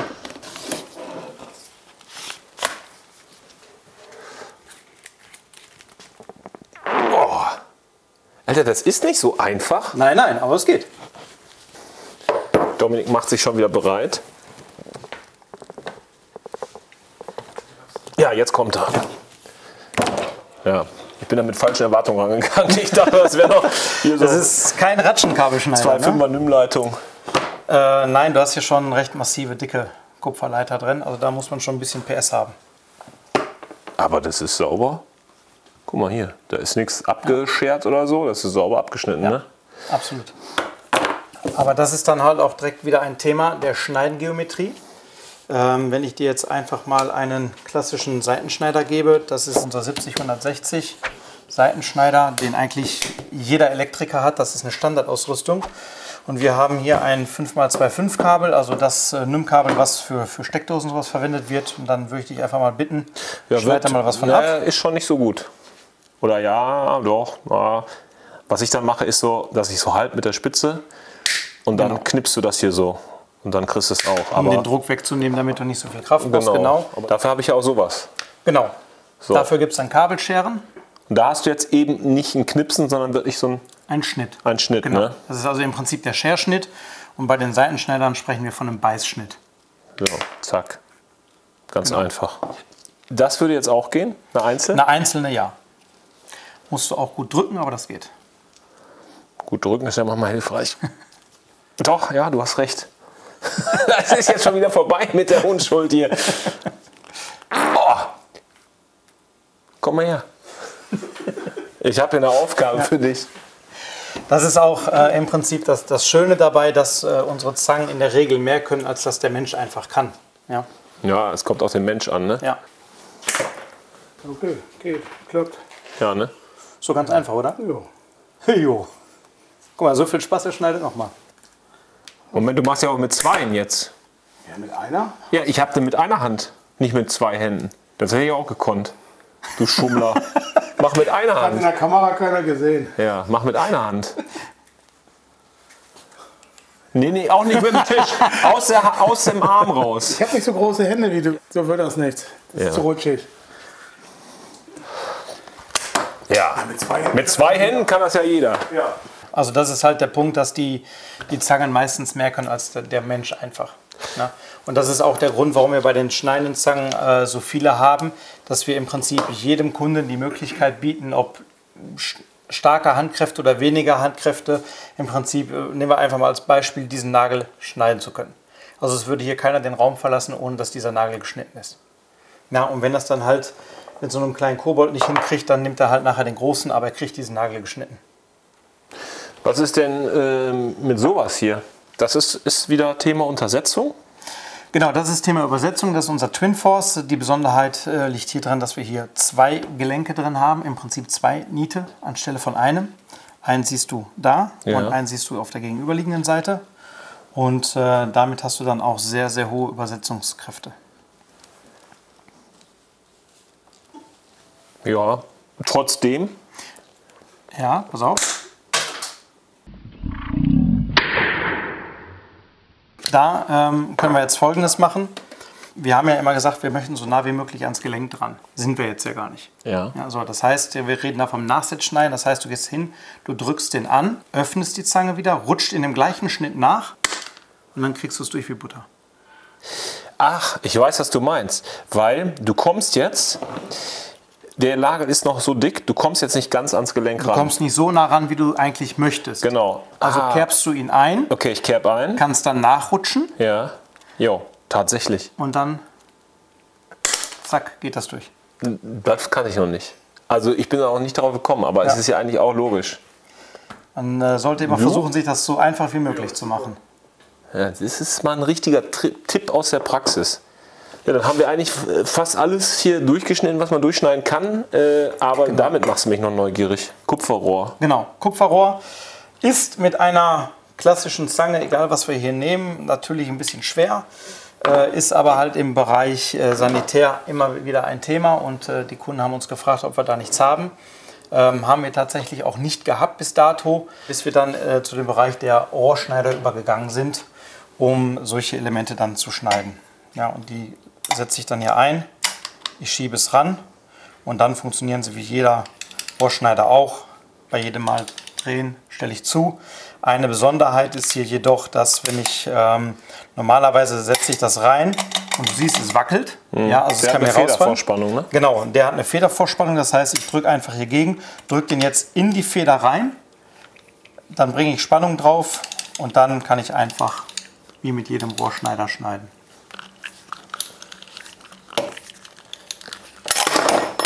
Gut, man muss den Rohrschneider einfach auch festhalten, Genau. wenn man dann das Rohr Aber dafür hat. sind die Knipex-Produkte so robust, Ja. dass das egal ist. Was ist das? Rohrschneider? Genau, das ist Aber auch ein ich habe ja hier Rohrschneider. kein, kein Gewinde. Genau, das ist für unsere HT-Rohre hier oder, oder äh, Abflussrohre. Und zwar kann ich den hier auf den entsprechenden Durchmesser einstellen. Das heißt, ich drücke hier diesen Griff, Ja. dann geht die Klinge zurück, ich kann es einlegen Ja. und dann kann ich drehen. Also ich muss es halt auf, die, den richtigen Durchmesser einstellen. Ich habe hier drei Positionen, ja, für 32, 40 und 50 mm.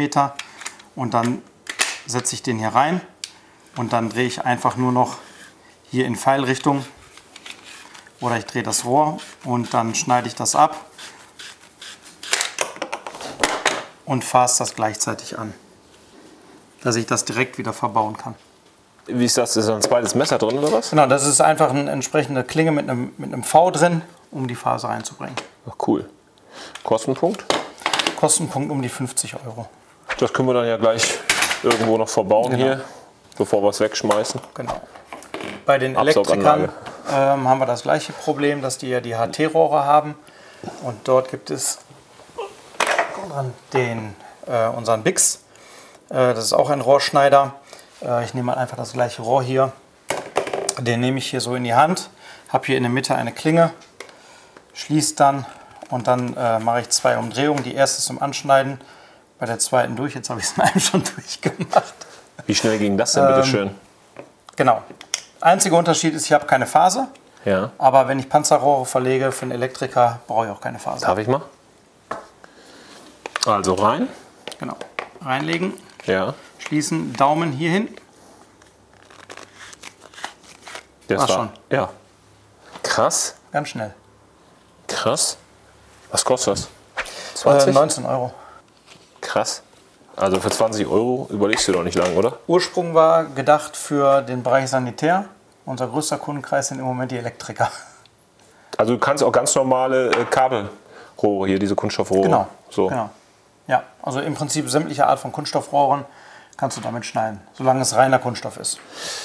Und du siehst die Schnittkante. Wo ist die? Genau, du hast äh, im Prinzip hier immer Markierungen, dass du Ja, weißt, wo die ja. Mitte ist. Ja, genau. Äh, wenn du dir das Rohr markierst, dass du dann auch immer die gleiche Stelle triffst zum Abschneiden. Zwei Ersatzklingen sind auch schon drin äh, mit integriert. Wo? Hier.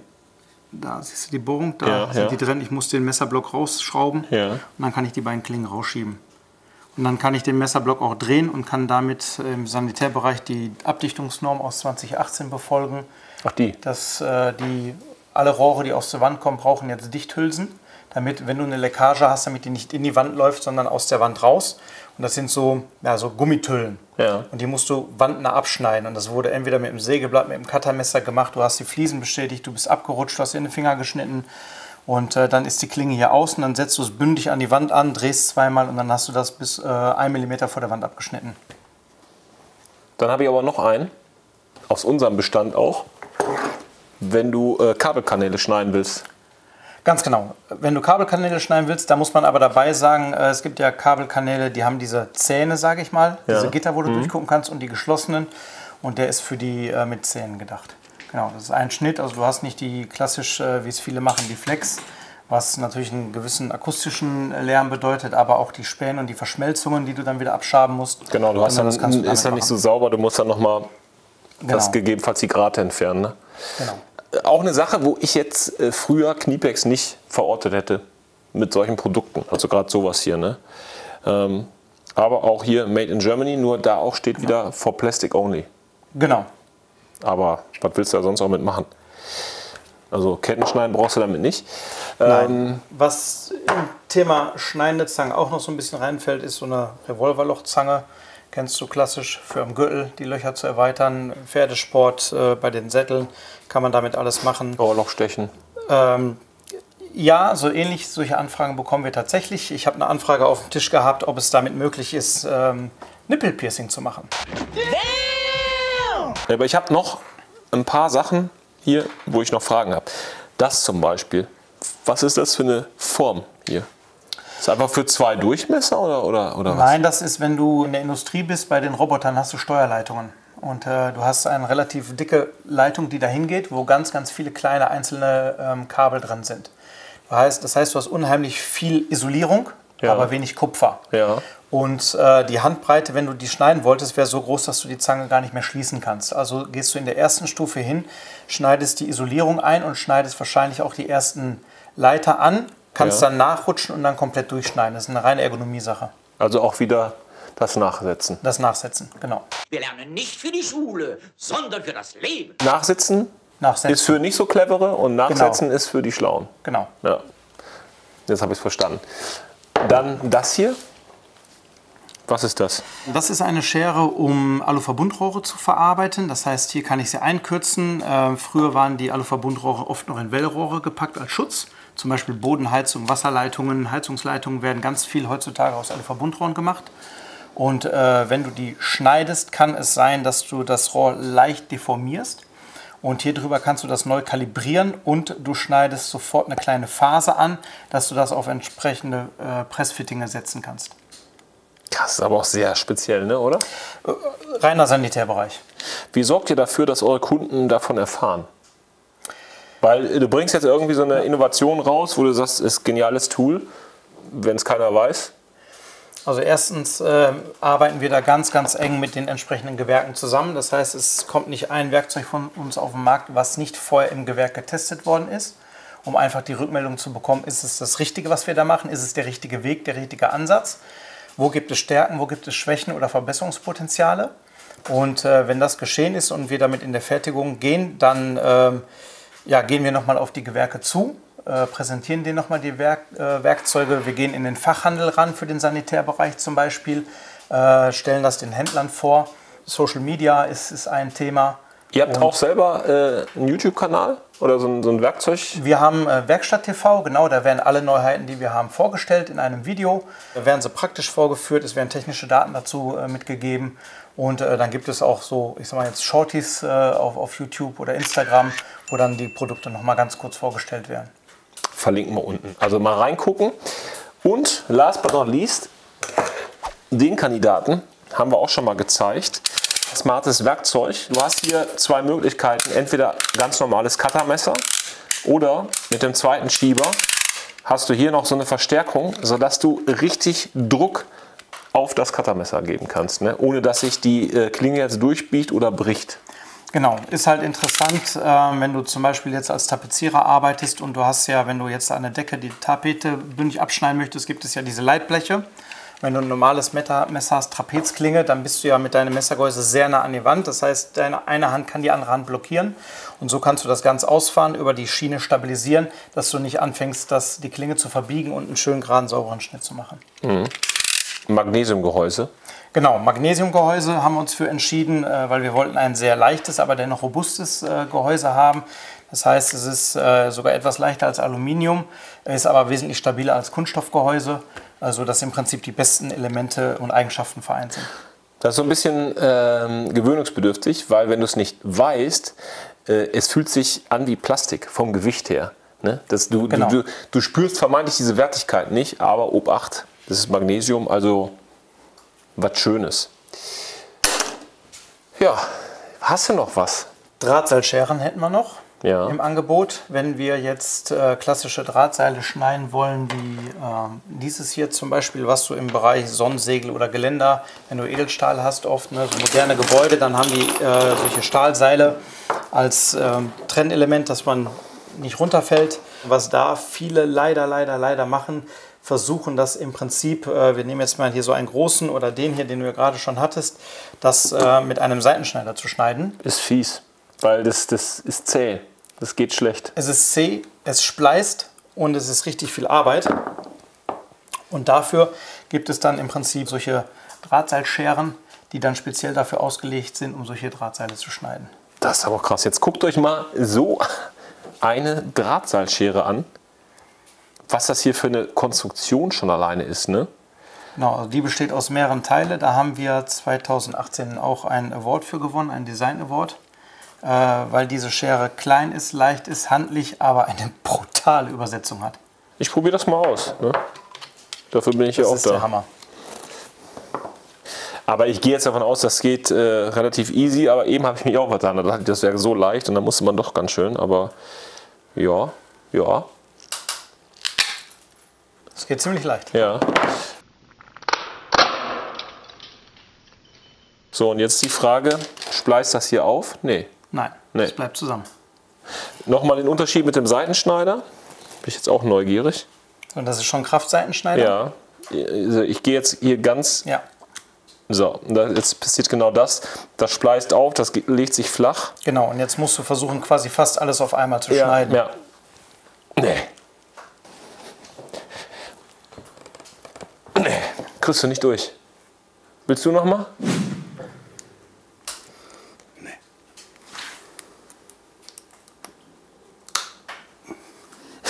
Selbst mit zwei, ne?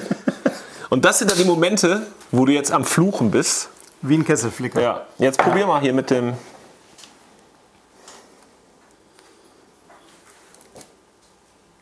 Ja, ist mit einer. Aber schönes Bild. Was kostet so eine Zange? Die müsste bei 38 Euro ungefähr liegen. Finde ich jetzt für das, was sie kann, fair bepreist. Das ist ja das, was, was äh, ähm, ganz viele meinen, dass Knipex immer sehr teuer ist. Äh, wenn man aber in der, man muss ja dann auch fair sein, Äpfel mit Äpfel vergleichen, wenn man dann in der gleichen Qualitätsrange unterwegs ist, ist Knipex tatsächlich in sehr vielen Fällen im Mittelfeld. Ich glaube, wir sind jetzt äh, mittlerweile an einem Punkt, wo wir wissen, dass äh, Kniepex nicht nur einen Seitenschneider, eine Kneifzange und eine Kombizange macht und eine Wapuzange. Nicht ganz. Aber du hast noch was im Gepäck. Genau, und zwar gibt es noch das große Feld für die Elektriker. Das ist das Thema Abisolieren, Schneiden und Krimpen von äh, Kabeln. Okay, das heißt wieder umräumen. Und jetzt sind wir beim Kapitel, äh, arbeitest du mit äh, Draht, frag Knipex um Rat. Den kanntest du noch nicht, ne? Nein, der war da auch haben wir eine. Lösung Habe ich für. mir auch gerade ausgedacht. So, da habt ihr Lösung, weil es geht um Krimpen und um Abisolieren. Und ich kann euch äh, sagen, dass ich mit diesen Konsorten schon äh, öfter gearbeitet habe und äh, sehr zufrieden war. Aber es sind auch Sachen, die schon echt heftig aussehen. Sowas zum Beispiel. Sieht aus wie ein Trommelrevolver. Genau. Ist auch fast sowas, ne? Ist so ähnlich, genau. Du hast im Prinzip hier vorne ein Magazin dabei, was aussieht wie ein Revolver. Und in der Zange sind im Prinzip die fünf gängigsten äh, Gesenke, die so der klassische Elektriker braucht, vereinigt. Äh, das heißt, ich drücke den Knopf hier in der Mitte, ziehe es raus, kann hier entsperren und schon kann ich loslegen. Und sobald ich wieder tauschen möchte, ist ganz wichtig, den Riegel wieder runter, weil das gibt mir die Distanz vor. Ich kann es reinstecken, ich ziehe es einfach nur raus.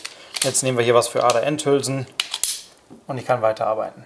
Also habe ich im Prinzip alles direkt am Mann.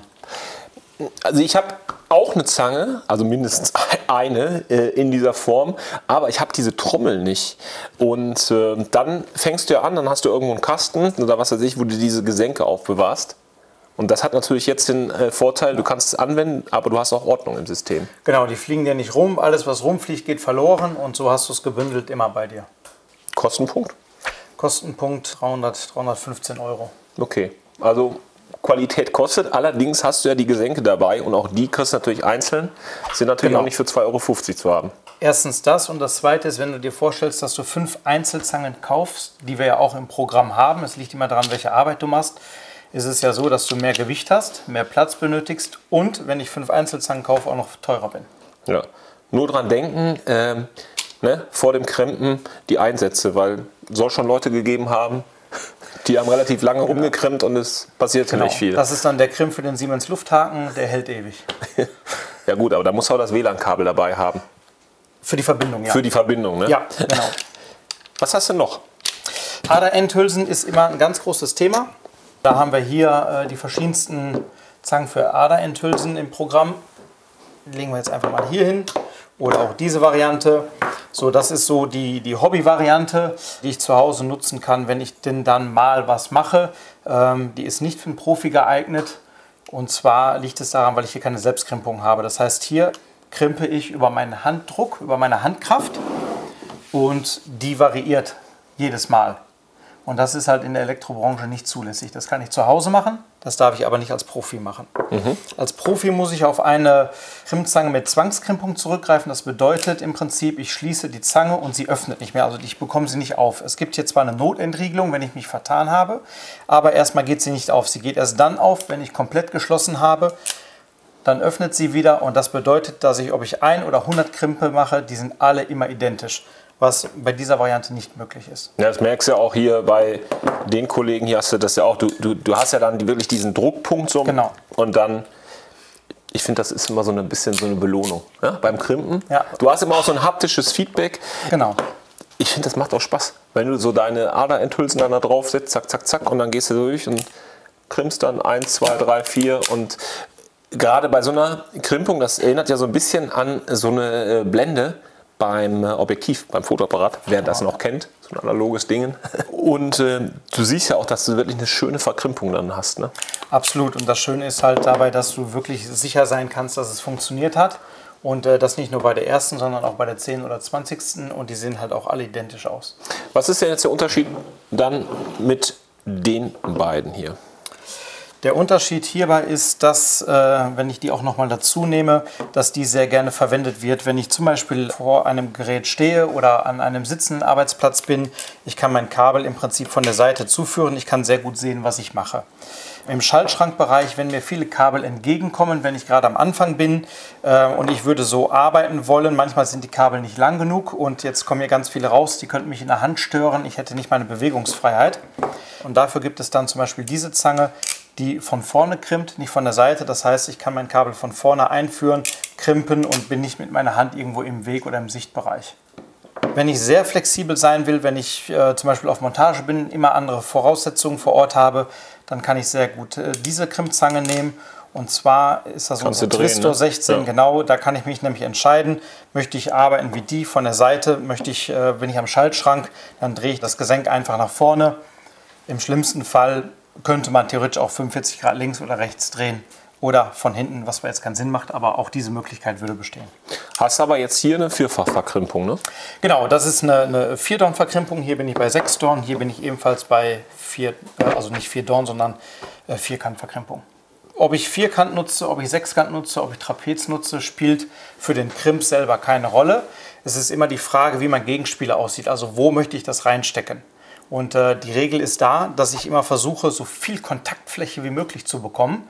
Und äh, wenn ich jetzt einen alten Schaltschrank habe, wo ich zum Beispiel die Kupferplatten mit einer Schraube aufeinander presse, dann habe ich ja zwei glatte Flächen, dann nehme ich einen Vierkant, weil ich darüber die größte Kontaktfläche habe. Ja, ich muss also immer versuchen, die größte Kontaktfläche zu bekommen und deswegen gibt es die verschiedenen Gesenke. Wusste ich auch nicht. Gut, bin jetzt kein Elektriker, aber das eine ist weder gut noch schlecht, sondern ich muss immer gucken, Anwendungsfall. Genau, es Und dann im besten Fall wirklich halt sechsfach und vierfach dabei haben. Genau, es gibt da kein gut oder äh, kein schlecht, kein richtig oder kein falsch, sondern es kommt immer auf den Gegenspieler drauf an, ähm, wo ich es reinsetzen möchte.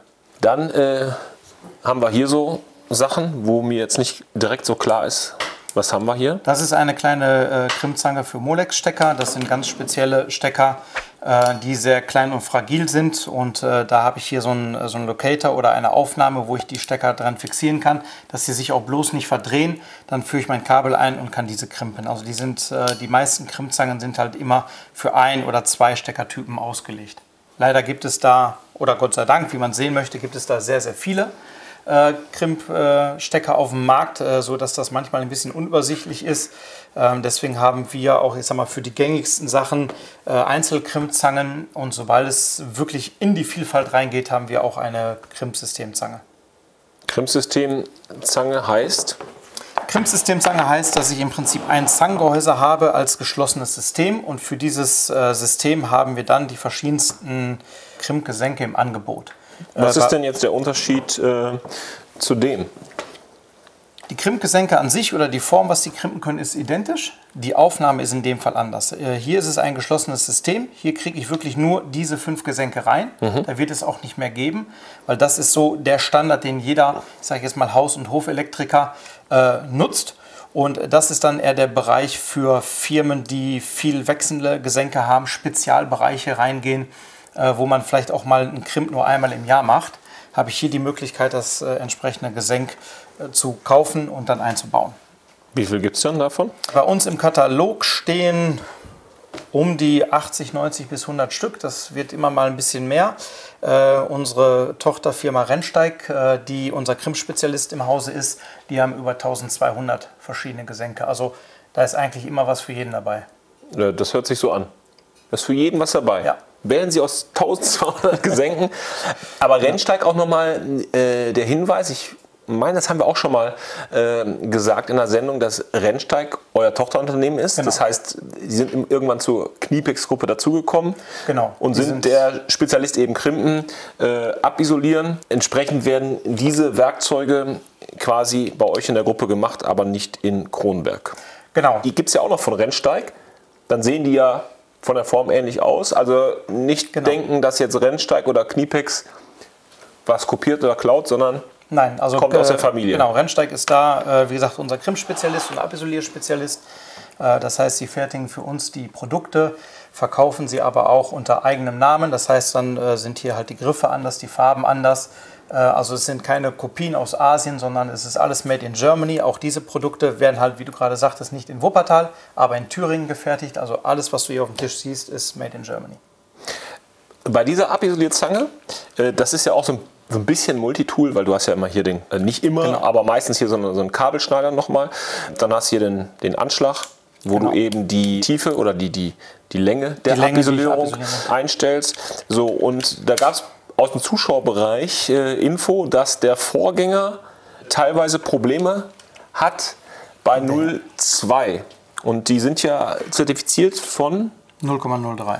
0,03, also 0,2. Sollte theoretisch kein Problem sein. Ähm, hier ist es aber so, dass ich an dieser Zange nichts mehr einstellen kann. Das heißt also, jeder, der irgendwo daherläuft, dem kann ich die in die Hand drücken und sagen, isoliere mir was ab und er kann keinen Fehler machen. Das ist erstmal der Vorteil. Der Nachteil dabei ist, wenn ich schwankende Isolierung habe, wenn ich schwankende Temperaturen habe, kann es manchmal sein, dass sie einfach an ihre Grenzen stößt. Und wenn es dann zum Beispiel zu kalt ist, dass sie es dann nicht abziehen kann. Dann rutscht sie einfach drüber. Genau. Äh, oder wenn ich jetzt wechselnde Isolierung habe, dann kommt oft die Aussage von Kunden, ja, das ist doch meine Standardisolierung, mein Standardkabel. Was für ihn vielleicht der Standard ist, ist für einen anderen ein Exoten. Also das ist äh, immer sehr schwer zu definieren und äh, dann hast ja- kann es halt einfach sein, dass ich da abrutsche. Prinzipiell ist ja das System geläufig so, du steckst das Kabel hier rein, jetzt drückst du zu und jetzt gibt es einmal einen Druck, wo er einkerbt und dann gehen die Messer in die Isolierung, greifen rein Genau. und dann ziehen sie sie ab. Natürlich dürfen die Messer nicht zu weit reingehen, dass die Litzen beschädigt werden, die Beschädigt Einzellitzen. werden, genau. So, und das läuft eigentlich ja, problemlos. Aber das ist eben das Ding, äh, wenn du jetzt sowas bei 30 Grad verarbeitest, hat das ja eine Weich, Weichkeit, also die, die, Genau. die, die Steifigkeit ist ja eine ganz andere. Arbeitest du jetzt hier vielleicht bei den derzeit herrschenden Außentemperaturen um 0 Grad, ist das viel härter. Und dann müsste dieses Messer ja eigentlich mehr Druck haben, damit es dann auch bei dieser Härte mehr äh, reingeht. Und das ist, glaube ich, das, was ihr jetzt hier macht. Da könnt ihr diesen, diesen Gegendruck hier einstellen. Genau, also wir können den Gegendruck nicht einstellen, aber wir können die Tiefe äh, der Klinge einstellen, wie Ja. tief sie einschneiden soll und darüber kann ich ganz viel regulieren. Das ist einmal, wie du gerade sagtest, temperaturabhängig. Also habe ich sehr warm, habe ich da ein Kaugummi, was es mir erschwert, das abzuziehen. Ist es sehr, sehr hart, äh, dringen die Messer vielleicht nicht tief genug ein. Ähm, das kann ich hier drüber dann ein bisschen regulieren. Das ist die eine Seite. Die zweite Seite ist, dass es immer mehr Kabeltypen auf dem Markt gibt, die unterschiedliche Isolationsstärken haben. Das heißt, es gibt Kabel, die sind dicker isoliert und es gibt Kabel, die sind dünner isoliert. Und da habe ich halt die Möglichkeit, über diesen Knopf die Tiefe, wie tief die Messer äh, eindringen in die Isolation, kann ich darüber justieren. Das heißt, im Idealfall, wenn ich eine Einstellmöglichkeit habe, dass ich mir vielleicht mal ein altes Stück Kabel oder einen Abschnitt nehme, den ich gerade nicht brauche und einmal daran die Einstellung teste, ob das für meinen Kabeltypen, den ich gerade verarbeiten möchte, so passt.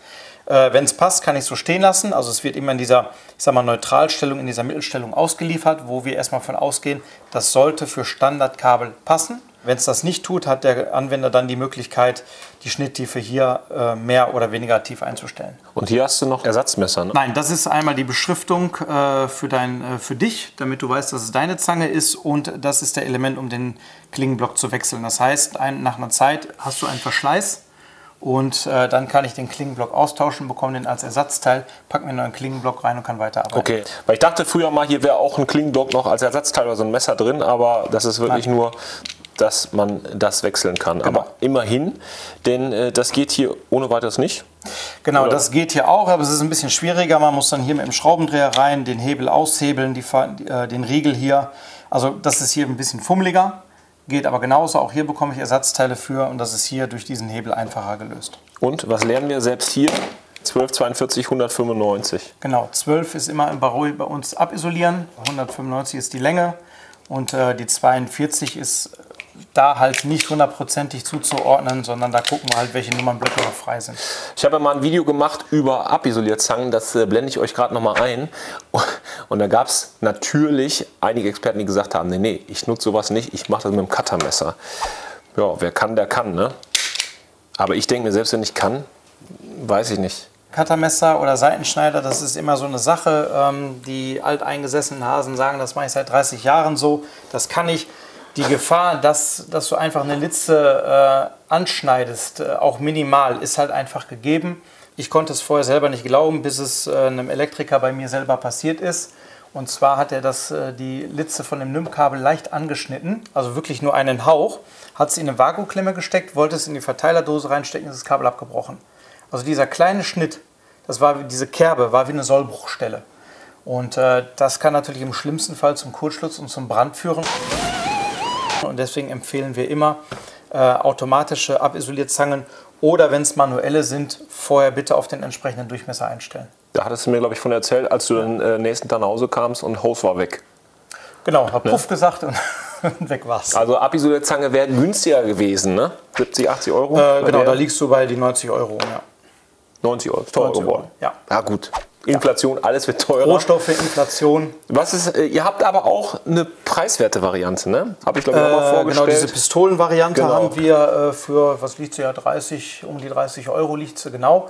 Die ist äh, sehr gut für, für weiche Isolierung tatsächlich, weil sie eine V-Klinge hat, also die schneidet mehr ein, ist aber tatsächlich nicht für den Dauerbetrieb geeignet. Also jetzt für den professionellen Anwender, für den Elektriker, der wirklich acht Stunden auf der Baustelle ist, das wird sie definitiv nicht so lange mitmachen im Vergleich zu so einer. Okay.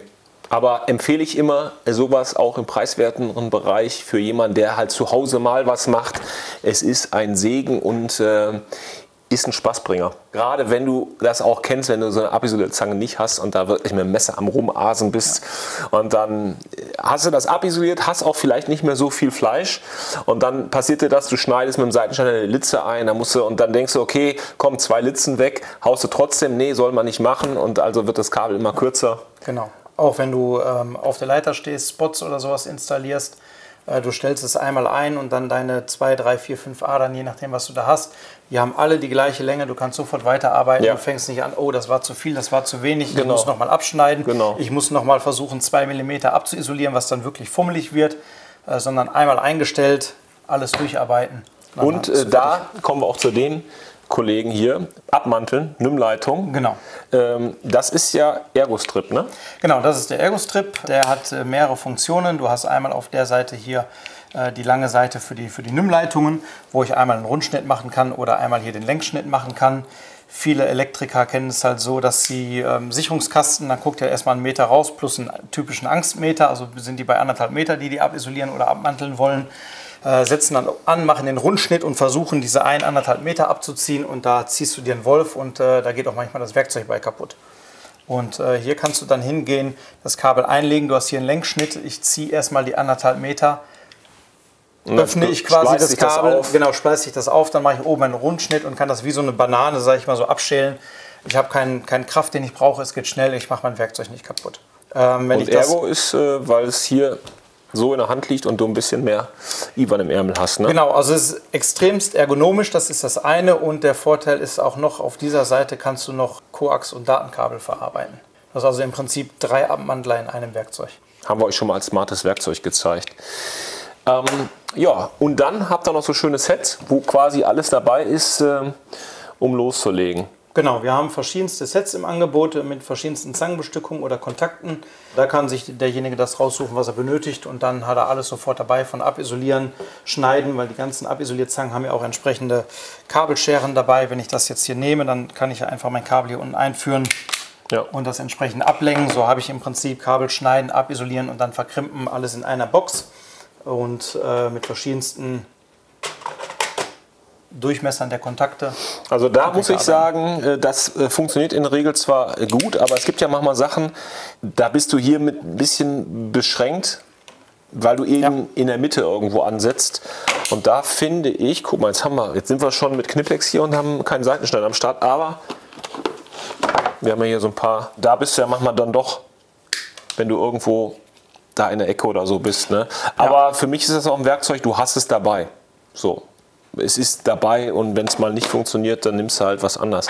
Hier übrigens, ihr macht ja auch so fertige Kits in L-Boxen. Die Werkzeugkoffer von euch haben wir euch auch schon mal äh, gezeigt. Äh, blenden wir auch noch mal ein, diesen Werkzeugkoffer-Test. Den haben wir schon jetzt so ein bisschen geflattert, muss ich sagen, weil wir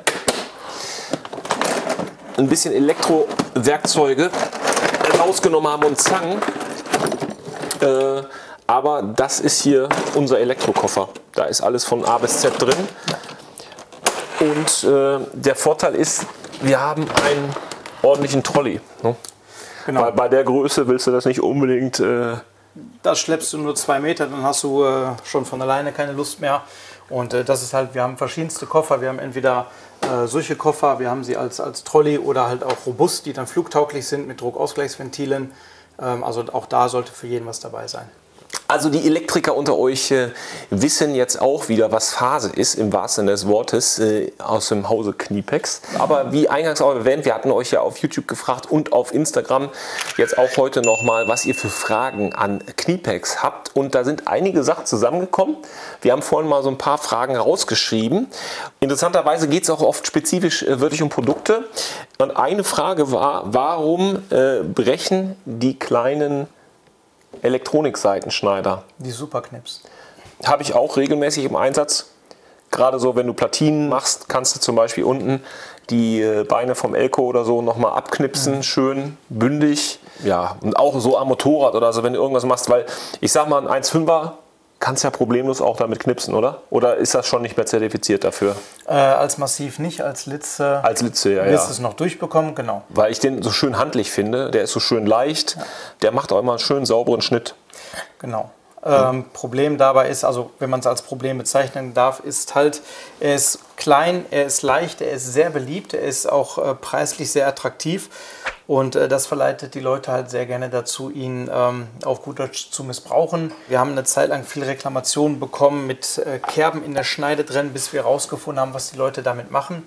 Und zwar gibt es einen Kantaldraht, das ist ein ganz dünner kleiner Draht, der zum Beispiel bei E-Zigaretten als Heizspirale genutzt wird.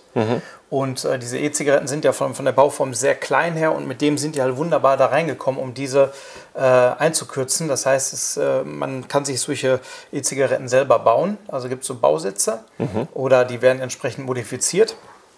Und äh, das wurde damit gerne geschnitten und dann gab es Eindrücke und dann gab es Reklamationen, ah, der kann das ja gar nicht. Kann er nicht, weil er auch gar nicht dafür ausgelegt ist, weil der Draht einfach zu hart ist. Also so ein richtiges Hartmetall, Genau. äh, das ist Ist- dieser Glühdraht dann. Genau, ist der Glühdraht, Okay. das ist einfach ein richtig harter Draht. Ja.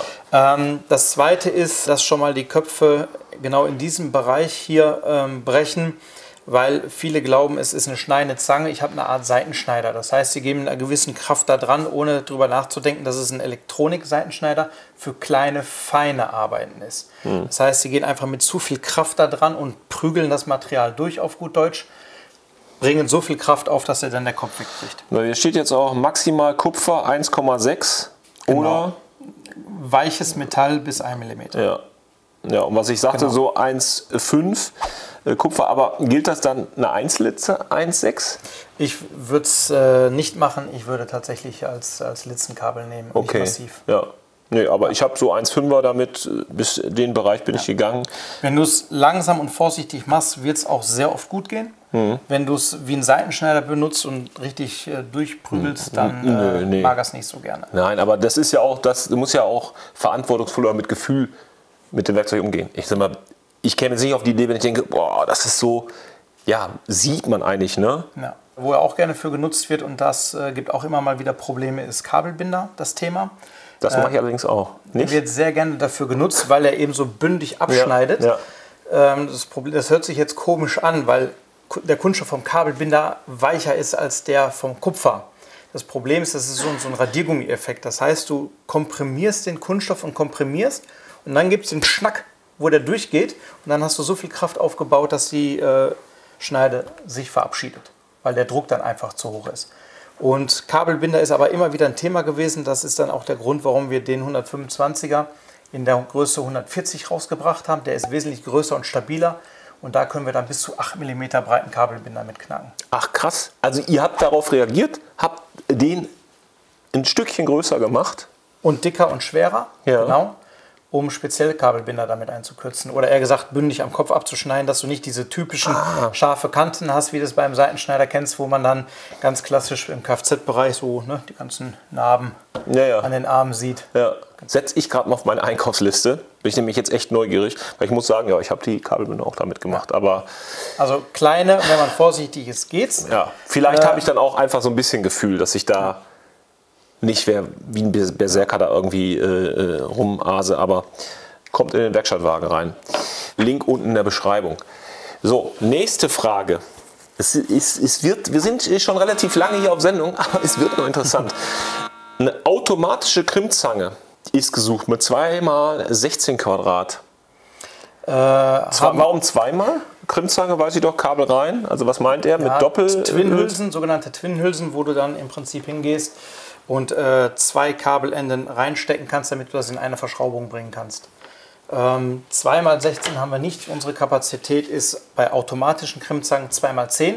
Ab 2x16 hast du Einzelgesenke. Was ist das? Ein Zehner? Das ist ein 10er. Ja, guck. Also Das ein ist- 16er ist das ja. ist 16. Ja. Nur mal zu veranschaulichen. Ne? Ich meine, 16 Quadrat ist natürlich auch schon moppelt. Davon zwei Stück, das ist dann schon eine Hausnummer. Okay. Also musst du dann mit anderen. Mit Einzelgesenken oder Einzelzangen arbeiten, um das abzudecken, ja. Okay. Ein anderer Zuschauer fragte, warum ist Kniepex so teuer oder hochpreisig? Das liegt immer im Auge des Betrachters, würde ich jetzt mal sagen. Also ich glaube, dass äh, die Knipex-Zangen definitiv ihr Geld wert sind. Äh, teuer sind wir nicht. Wir sind ähm, ja, im, im, im hochpreisigen Segment unterwegs. Wenn man das jetzt aber mit äh, Mitbewerbern vergleicht, die in der gleichen Qualitätskategorie mitspielen, ist Knipex seltenst tatsächlich der teuerste. Wir befinden uns in diesem hochpreisigen Segment im Mittelbereich. Also natürlich gibt es immer mal wieder eine Zange, die ist teurer im Vergleich zum Wettbewerb. Es gibt aber auch viele Zangen, die sind günstiger im Vergleich zum Wettbewerb. Das zweite ist, wie wir es vorhin schon angesprochen haben, es ist alles made in Germany, made in Wuppertal, Kronberg. Selbst der Stahl kommt aus Deutschland oder der Schweiz. Das sind die beiden Länder. Ich persönlich muss sagen, ich finde Kniepex nicht teuer, sondern ich finde es preiswert. Nämlich im wahrsten Sinne des Wortes, äh, dass es den Preis wert ist. Genau, das ist der Unterschied zwischen preiswert und billig. Genau, billig ist es äh, nicht. So, dann war die Frage, wisst ihr, dass Kniepex ähm, zu Bitburger gehört? Habe ich auch noch nicht gehört. Nein, Knipex gehört nicht zu Bitburger. Knipex ist eigenständig. Äh, Wir sind Inhaber geführt in der vierten Generation durch die Familie Putsch und äh, das wird auch erstmal so bleiben. Okay. Hat Bitburger sonst irgendwas im Werkzeugbereich zu tun oder wie kam, oder wie kam, ist das ein Gerücht oder was? Äh, nein, äh, Bitburger ist im Werkzeugsegment unterwegs tatsächlich. Äh, sie haben äh, einen, einen Werkzeughersteller aufgekauft äh, oder gekauft und äh, da gibt es dann entsprechende Kooperationen, aber Knipex ist selbstständig. Okay. Wieder was gelernt, ne? Aber es, es liegt ja auch auf der Hand, ne? Das heißt ja bitte ein Bit. Jetzt wird mir einiges klar. ja, oder? Aber wir sind ja im Hause Kniepex jetzt unterwegs und äh, da kam die nächste Frage. Was ist eure größte Zange? Die größte Zange wäre dann einer unserer Bolzenschneider mit knapp 1 Meter Länge. Also das wäre jetzt das größte Werkzeug. Ist das nicht die? die wir Das wäre, genau, das wäre im Prinzip der kleine Kollege, das wäre so die größte Zange, die wir haben. Ja, wenn es jetzt äh, um das Thema Wasserpumpenzange geht, dann sind wir da unterwegs. Da gab es ähm, auch schon die nächste Frage, ob äh, ihr plant, vielleicht hier nochmal einen draufzusetzen. Ich sage mal aktuell nicht. Aber du lachst dabei. Das darf jeder interpretieren. Du willst es auch, ne? Ich, äh, ich fände es auch gut, ja. Äh, dann äh, war die Frage noch, äh, wo wir auch wieder bei dieser Zange sind, äh, weil es hat sich der Gewinner der Zange gemeldet äh, mit einer Frage, wofür wird die eigentlich benutzt? Offensichtlich hängt sie bei ihm im Wohnzimmer. Ähm, ja, wofür wird sie benutzt? Da gibt es verschiedenste Anwendungen, sei es äh, im Bereich der Ölindustrie, äh, Pipelines, Rohrbau, ähm, aber auch bei den Kollegen der Bahn. Äh, die nutzen die auch schon mal ganz gern. Ja, typischerweise Agrar, ne? Typischerweise Agrar, Nutzfahrzeuge, Bau, Nutzfahrzeug. Baugewerbe und äh, Rohrleitungsbau. Was ist denn da so das typische Werkzeug von euch für den Bereich Bau und Agrar?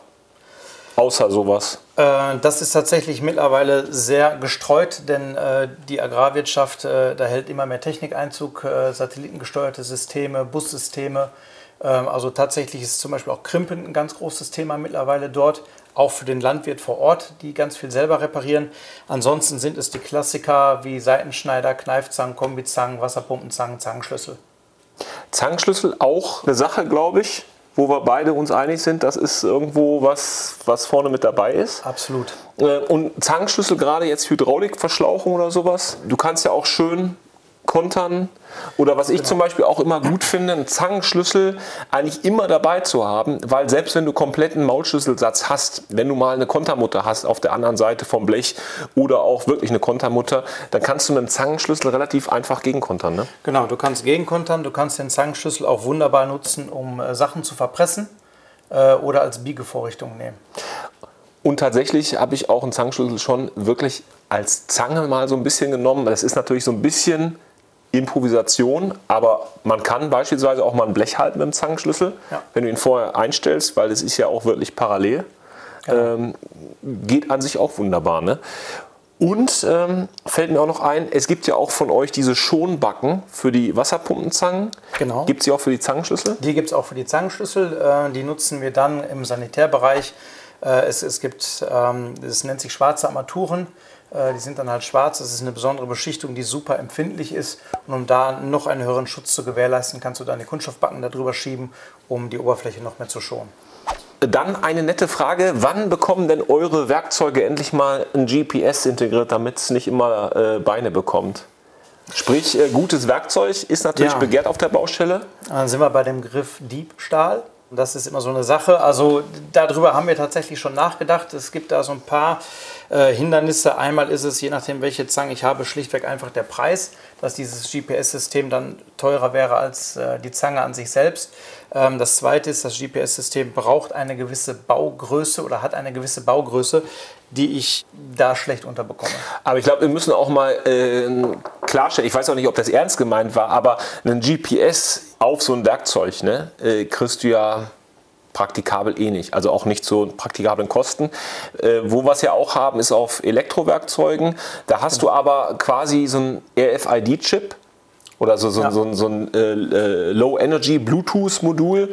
Die bis zu einem gewissen Radius funktionieren. Genau, und das funktioniert ja auch immer in Verbund mit Handys. Und dann wiederum ähm, bei Elektrowerkzeugherstellern läuft das ja auch über eine App. Und wenn du diese App installiert hast und die ist auf Empfang, dann äh, funkt die mit diesen Geräten. Und wenn du jetzt zum Beispiel einen Akkuschrauber hast, der auf der Baustelle wegkommt, und dann kriegst du abends, wenn du einpackst, stehst im, in deinem Werkstattwagen, kriegst du die Meldung, hier fehlt ein Werkzeug, weil er das nicht findet. Und dann ist es weg. Aber jetzt hast du eine Chance, wenn der jetzt auf einer anderen Baustelle auftaucht, wo auch jemand mit der App rumläuft, dann funkt er wieder nach Hause und dann wird gesagt, das Werkzeug ist da in der Lokalisation aufgetaucht. Ähm, so funktioniert das ja. Das heißt, theoretisch könnte man schon mal irgendwie mit RFIDs oder so, die man irgendwo so ranklebt. Würde theoretisch funktionieren. Ähm, praktisch ist es halt einfach eine Kostenfrage, Ja. die dann wiederum viele Kunden nicht bereit sind zu bezahlen. Weil ich sag mal, ein Elektrowerkzeug, was vielleicht 300, 400 Euro kostet, ist ja schon mal ein anderer Wert als jetzt, sag ich mal, eine Zange für 20 Euro. Genau. Und da muss ja, Ja. die Verhältnismäßigkeit auch sehen.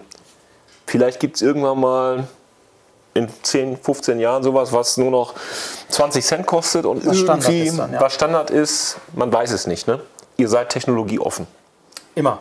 Dann eine Frage, ob äh, ihr nicht mal eine Kooperation mit Vera macht, machen wollt. Kooperation mit Vera machen wir schon seit Jahren. Das heißt, wenn du bei uns zum Beispiel Elek- Elektrikersets kaufst, Sanitärsets kaufst, also kofferbestückte Elemente, da sind eigentlich schon immer Vera-Produkte mit drin. Also die Kooperation mit Vera, auch auf Messen, gemeinsame Messeauftritte, die läuft schon seit Jahrzehnten. Aber ihr habt auch beispielsweise in euren Werkzeugsets waren eine Wasserwaage stabiler oder sowas? Genau, genau. Es gibt da so einen äh, Premium-Verbund, wo alle namhaften deutschen oder viele namhafte deutsche Hersteller versammelt sind und aus diesem äh, Verbund bedienen wir uns dann für Produkte, die wir selber nicht im Programm haben, äh, zum Beispiel wie Picatemmer, stabiler Wasserwagen, äh, Vera, Schraubendreher, Knarren, Bitsets, äh, all solche Sachen. In dem Zusammenhang, äh, nächste Frage war, äh, ob ihr auch mal Schraubendreher macht. Weil das kam häufiger unter den Videos nach dem Motto, ah, Kniepex ist so eine tolle Marke. Die Leute würden das hart feiern, wenn ihr auch andere Werkzeuge unter eurem Brand einfach mal rausbringt. Wir haben Schraubendreher im Programm, aber nur isolierte für Elektriker, einfach aufgrund äh, der Nachfrage von Kunden. Ähm, wir werden aber keine Schraubendreher in naher Zukunft oder mir nicht bekannt aufnehmen, einfach aufgrund dessen, dass wir so eine gute Kooperation mit Vera haben und äh, ja, man, man legt sich ja selber keine Knüppel im Weg. Dann fragt jemand, ob ihr eine Empfehlung habt, äh, um Flugrost auf den Werkzeugen zu vermeiden. Verchromte Zangen kaufen. Und wenn ich jetzt die Standardvariante habe, einfach Also die Standardvariante, wenn äh, man die nimmt, kannst du das einfach mit einem ganz normalen Öl regelmäßig einölen, äh, wie die 40 Ballistole, was es da alles gibt. Oder man geht halt hin und äh, reinigt die Zange einmal und geht dann zum Beispiel mit einem Klarlack oder Haarspray drüber. Haarspray. Haarspray. London. Umsteigen bei Regen. Die Frisur hält. Haarspray äh, setzt oben einen, einen klebrigen Film drauf äh, und das ist dann eine Art Klarlack und der hält eine gewisse Zeit. Kenne mich jetzt gar nicht so durch die Idee. Ich glaube, ich würde eher so äh, einfach ein bisschen ölen oder so. Vielleicht da Ölfilm drauf. Das ist das Einfachste, aber wenn man sich da sicher sein möchte, kann man. Äh, also ich muss es ja konservieren, ich muss es ja schützen, Ja. dass kein Sauerstoff oder keine Feuchtigkeit rankommt. Das geht entweder durch Öl oder durch eine Lackschicht. Wir hatten das auch schon häufiger, dass äh, Leute sich gewundert haben, sie haben meinetwegen so einen Toolcheck oder sowas äh, und der setzt Rost an. Und ähm, Flugrost auf Werkzeug ist kein Qualitätsmangel. Nein, du hast ja einfach geschmiedeten Stahl. Der ist, äh, wenn er nicht behandelt ist durch eine Lackschicht oder durch Verchrom, ist er halt offen. Und äh, jeder offene Stahl setzt halt Korrosion an. Das heißt, ich kann ihn nur durch Ölen, durch, äh, durch eine Verchromung oder eine andere Schutzschicht schützen. Also Rost an, an Werkzeug ist nicht ja, ein negatives Kriterium. Ich sag mal, spätestens wenn du mal bei Opa in die Werkstatt guckst und der hat ein paar Schraubenschlüssel an der Wand, da werdet ihr einige sehen, die wirklich äh, komplett eigentlich verrostet sind. Das ist normal, das sieht ganz normal aus. Ne? Dann fragt äh, jemand, warum es die Superknips, also diese Elektronik-Seitenschneider, in äh, Silber und in Schwarz gibt. Der Unterschied ist hier, dass wir hier zwei verschiedene Grundmaterialien nehmen. Der silberne ist einmal Edelstahl, also er kann nicht rosten, hat aber den Nachteil, dass ich den nicht so gut äh, Wärme behandeln kann. Also ich erreiche nicht die Härte, die ich haben möchte und somit ist die Kapazität geringer. Der schwarze ist ein, ein Werkzeugstahl, den ich besser härten kann. Ich erreiche höhere Härten, kann damit größere Querschnitte in Anführungsstrichen in diesem Bereich durchtrennen und schütze ihn durch diesen schwarzen Lack vor Korrosion. Okay, ne, ganz interessant, hätte ich jetzt auch nicht gewusst. Hier steht äh, äh, maximal Kupfer 1,6. Das steht hier auch, Auch. aber, Aber, Eisen nur 1 Quadrat statt 1,2 Quadrat. Relativ gering finde ich den Unterschied. Also ich würde dann, glaube ich, den nehmen, aber es kommt ja auf den Anwendungsfall an. Ne? Müssen wir auch mal gucken, welcher, Genau. für, welcher besser für Kabelbänder taucht. aber ich habe ja jetzt heute gelernt, ich werde mir den 140er nochmal äh, bestellen. So, dann äh, die Frage, welchen Rohrschneider du für Elektriker empfehlen würdest. Da würde ich den Bix empfehlen. Der ist klein, der ist leicht. Also den wir vorhin gezeigt haben. Genau. Äh, Ich kann hier Rohre im Durchmesser von 16 bis 50 mm. Ich persönlich habe es zu Hause schon getestet. Äh, 60 geht auch. Ähm, muss man jetzt ein bisschen aufpassen. Das muss man ein paar Mal gemacht haben. Wenn man sehr vorsichtig ist, geht das aber auch. Und damit kann ich dann wunderbar die Leerrohre oder Panzerrohre, wie sie auch genannt werden, Ich habe äh, neulich noch Elektriker bei der Arbeit gesehen. Und die hatten Leerrohre äh, verlegt und haben die dann immer mit so einer kleinen 12 Volt Flex abgetrennt. Äh, und dann habe ich mir noch gedacht, mit sowas ist das doch viel entspannter, macht keinen Dreck. Äh, Es ist leise, du bist schneller, du hast äh, den Grad nicht diese Fransen Ja, rumfliegen. ja, ja. Es ist sauberer. Dann äh, eine Frage, fand ich ganz interessant, die Kobold XL. Ja. Hast du eine da? Also warum gibt es die nur mit getauchtem Griff? Ähm, das hat zwei Gründe. Äh, das eine ist einmal die Öffnungsweite, dass äh, ich ja hier schon eine gewisse Öffnungsweite habe und ich habe jetzt keine kurzen Hände, aber ich komme so gerade eben noch dran, um den zu schließen. Wenn ich jetzt einen Zwei-Komponenten-Griff nehme, baut der noch dicker auf und dann würde ich es halt gar nicht mehr greifen können. Dann wären meine Finger wahrscheinlich hier irgendwo und ich könnte ihn nicht mehr schließen. Das ist das eine. Und das zweite ist, äh, wenn ich dieses, äh, ja, diese Werkzeuggröße mit einer Zweikomponente beschichte, dann habe ich halt schon ein sehr großes, massiges Werkzeug in der Hand. Okay. Das ist einfach, um Platz zu sparen und um die, sag mal, die Öffnungsweite ähm, ergonomischer zu machen. Also es geht jetzt wirklich gar nicht darum, so nach dem Motto, Edgy Badge bekommt er nicht, weil möchten wir nicht, sondern Nein, es hat wirklich praktische Gründe. Genau, es hat Ja. wirklich praktische Gründe. Ist das auch hier wieder sowas zum Draht äh, ziehen oder so? Oder ist das Nein, das ist nur die Freimachung, dass du die Öffnungsweite hinbekommst. okay? Zum Drahtziehen hast du diese Stelle hier.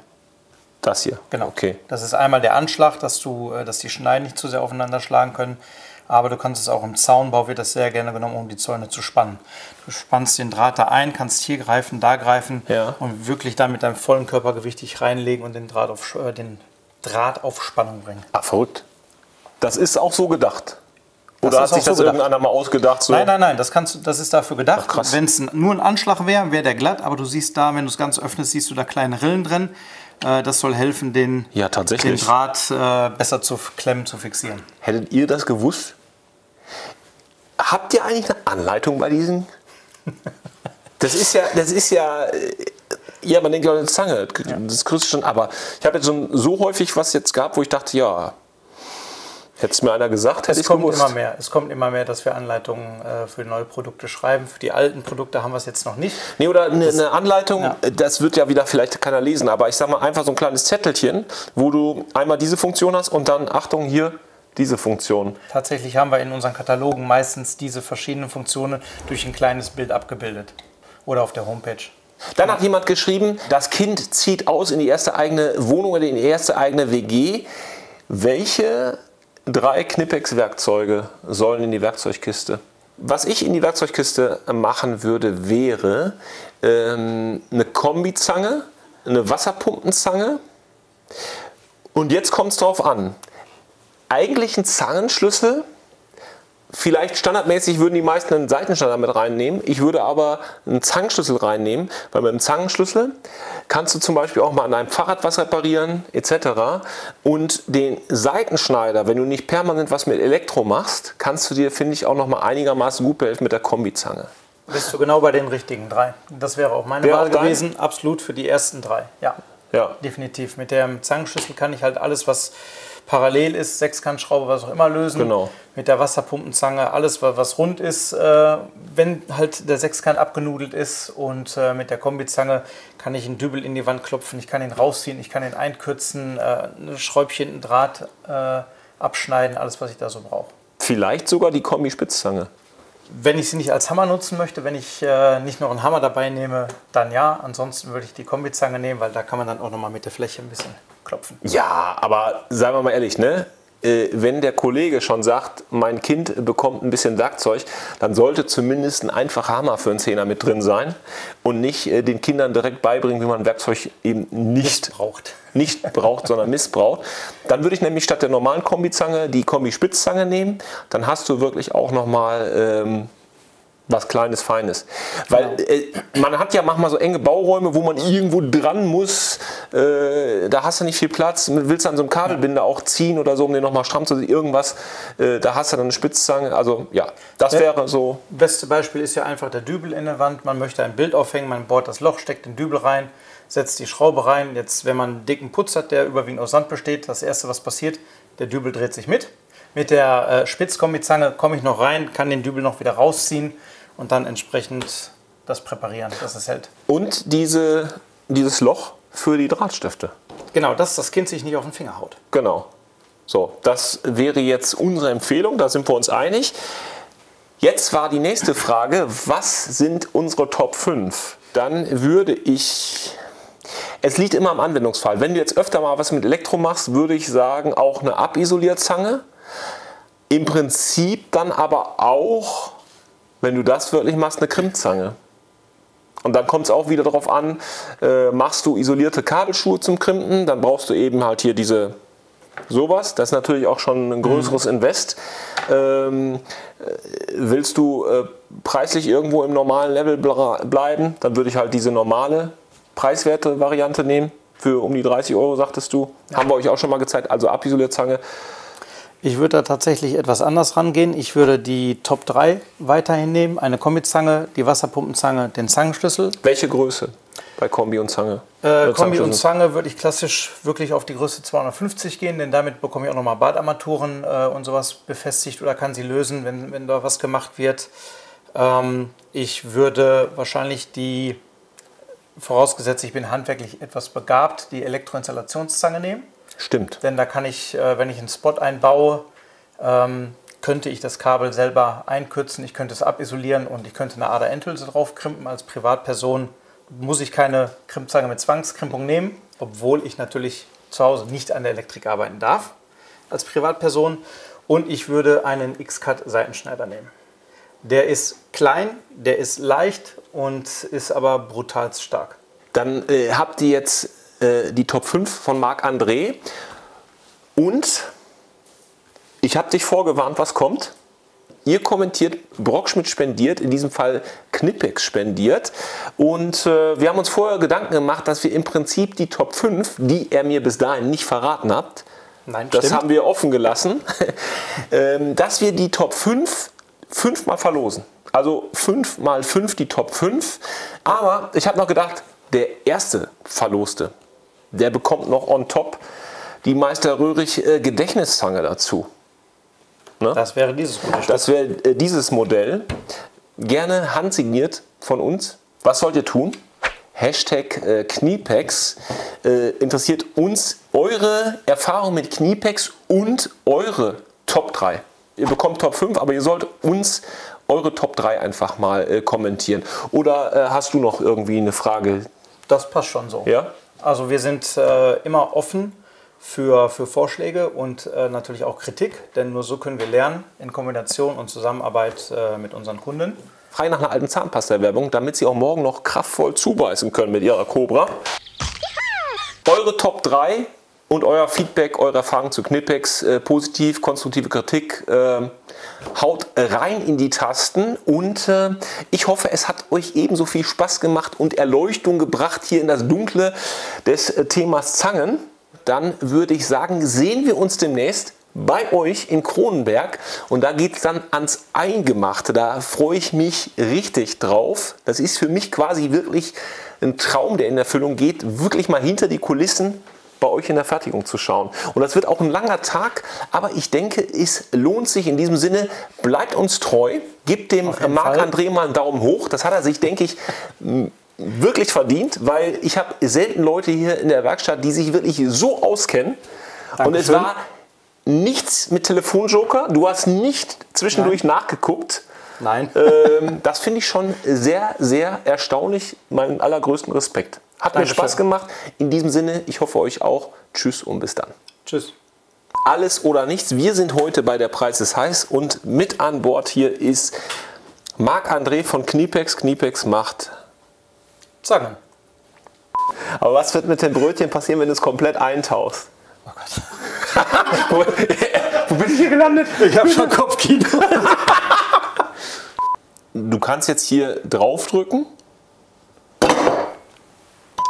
So, kleinste Zange. Gibt es die dann auch in verschiedenen Griffen oder nur in dem? Da hast du mich jetzt erwischt, kann ich dir gerade gar nicht sagen. Es soll vorkommen. Das ist aber das erste Mal, dass er jetzt mal was nicht weiß. Cobra, Alligator, alles so 70er, 80er Jahre, da hat man auch noch viele Namen vergeben. Äh, Und danach wurde das halt weniger, dass man einfach in Artikelnummer oder beschreibende Namen gegeben hat. Und äh, Oder sind keine Namen mehr eingefallen oder alle Namen waren schon vergeben? Nein, das Problem ist ja, du musst ja auch immer wirklich den, ein den passenden Das Namen dazu ein finden. Scherz. Das ist cringe, wenn du da nicht drauf eingehst. Dann äh, in, dem, Zukunft steht da. in, dem, in dem Moment, äh, äh, in, dem, in, in dem Zusammenhang, äh, Entweder durch Öl oder durch eine Lackschicht. aber das war auch äh, häufiger schon mal das Thema, die Kamera blinkt. Die Kamera blinkt. Das Ja.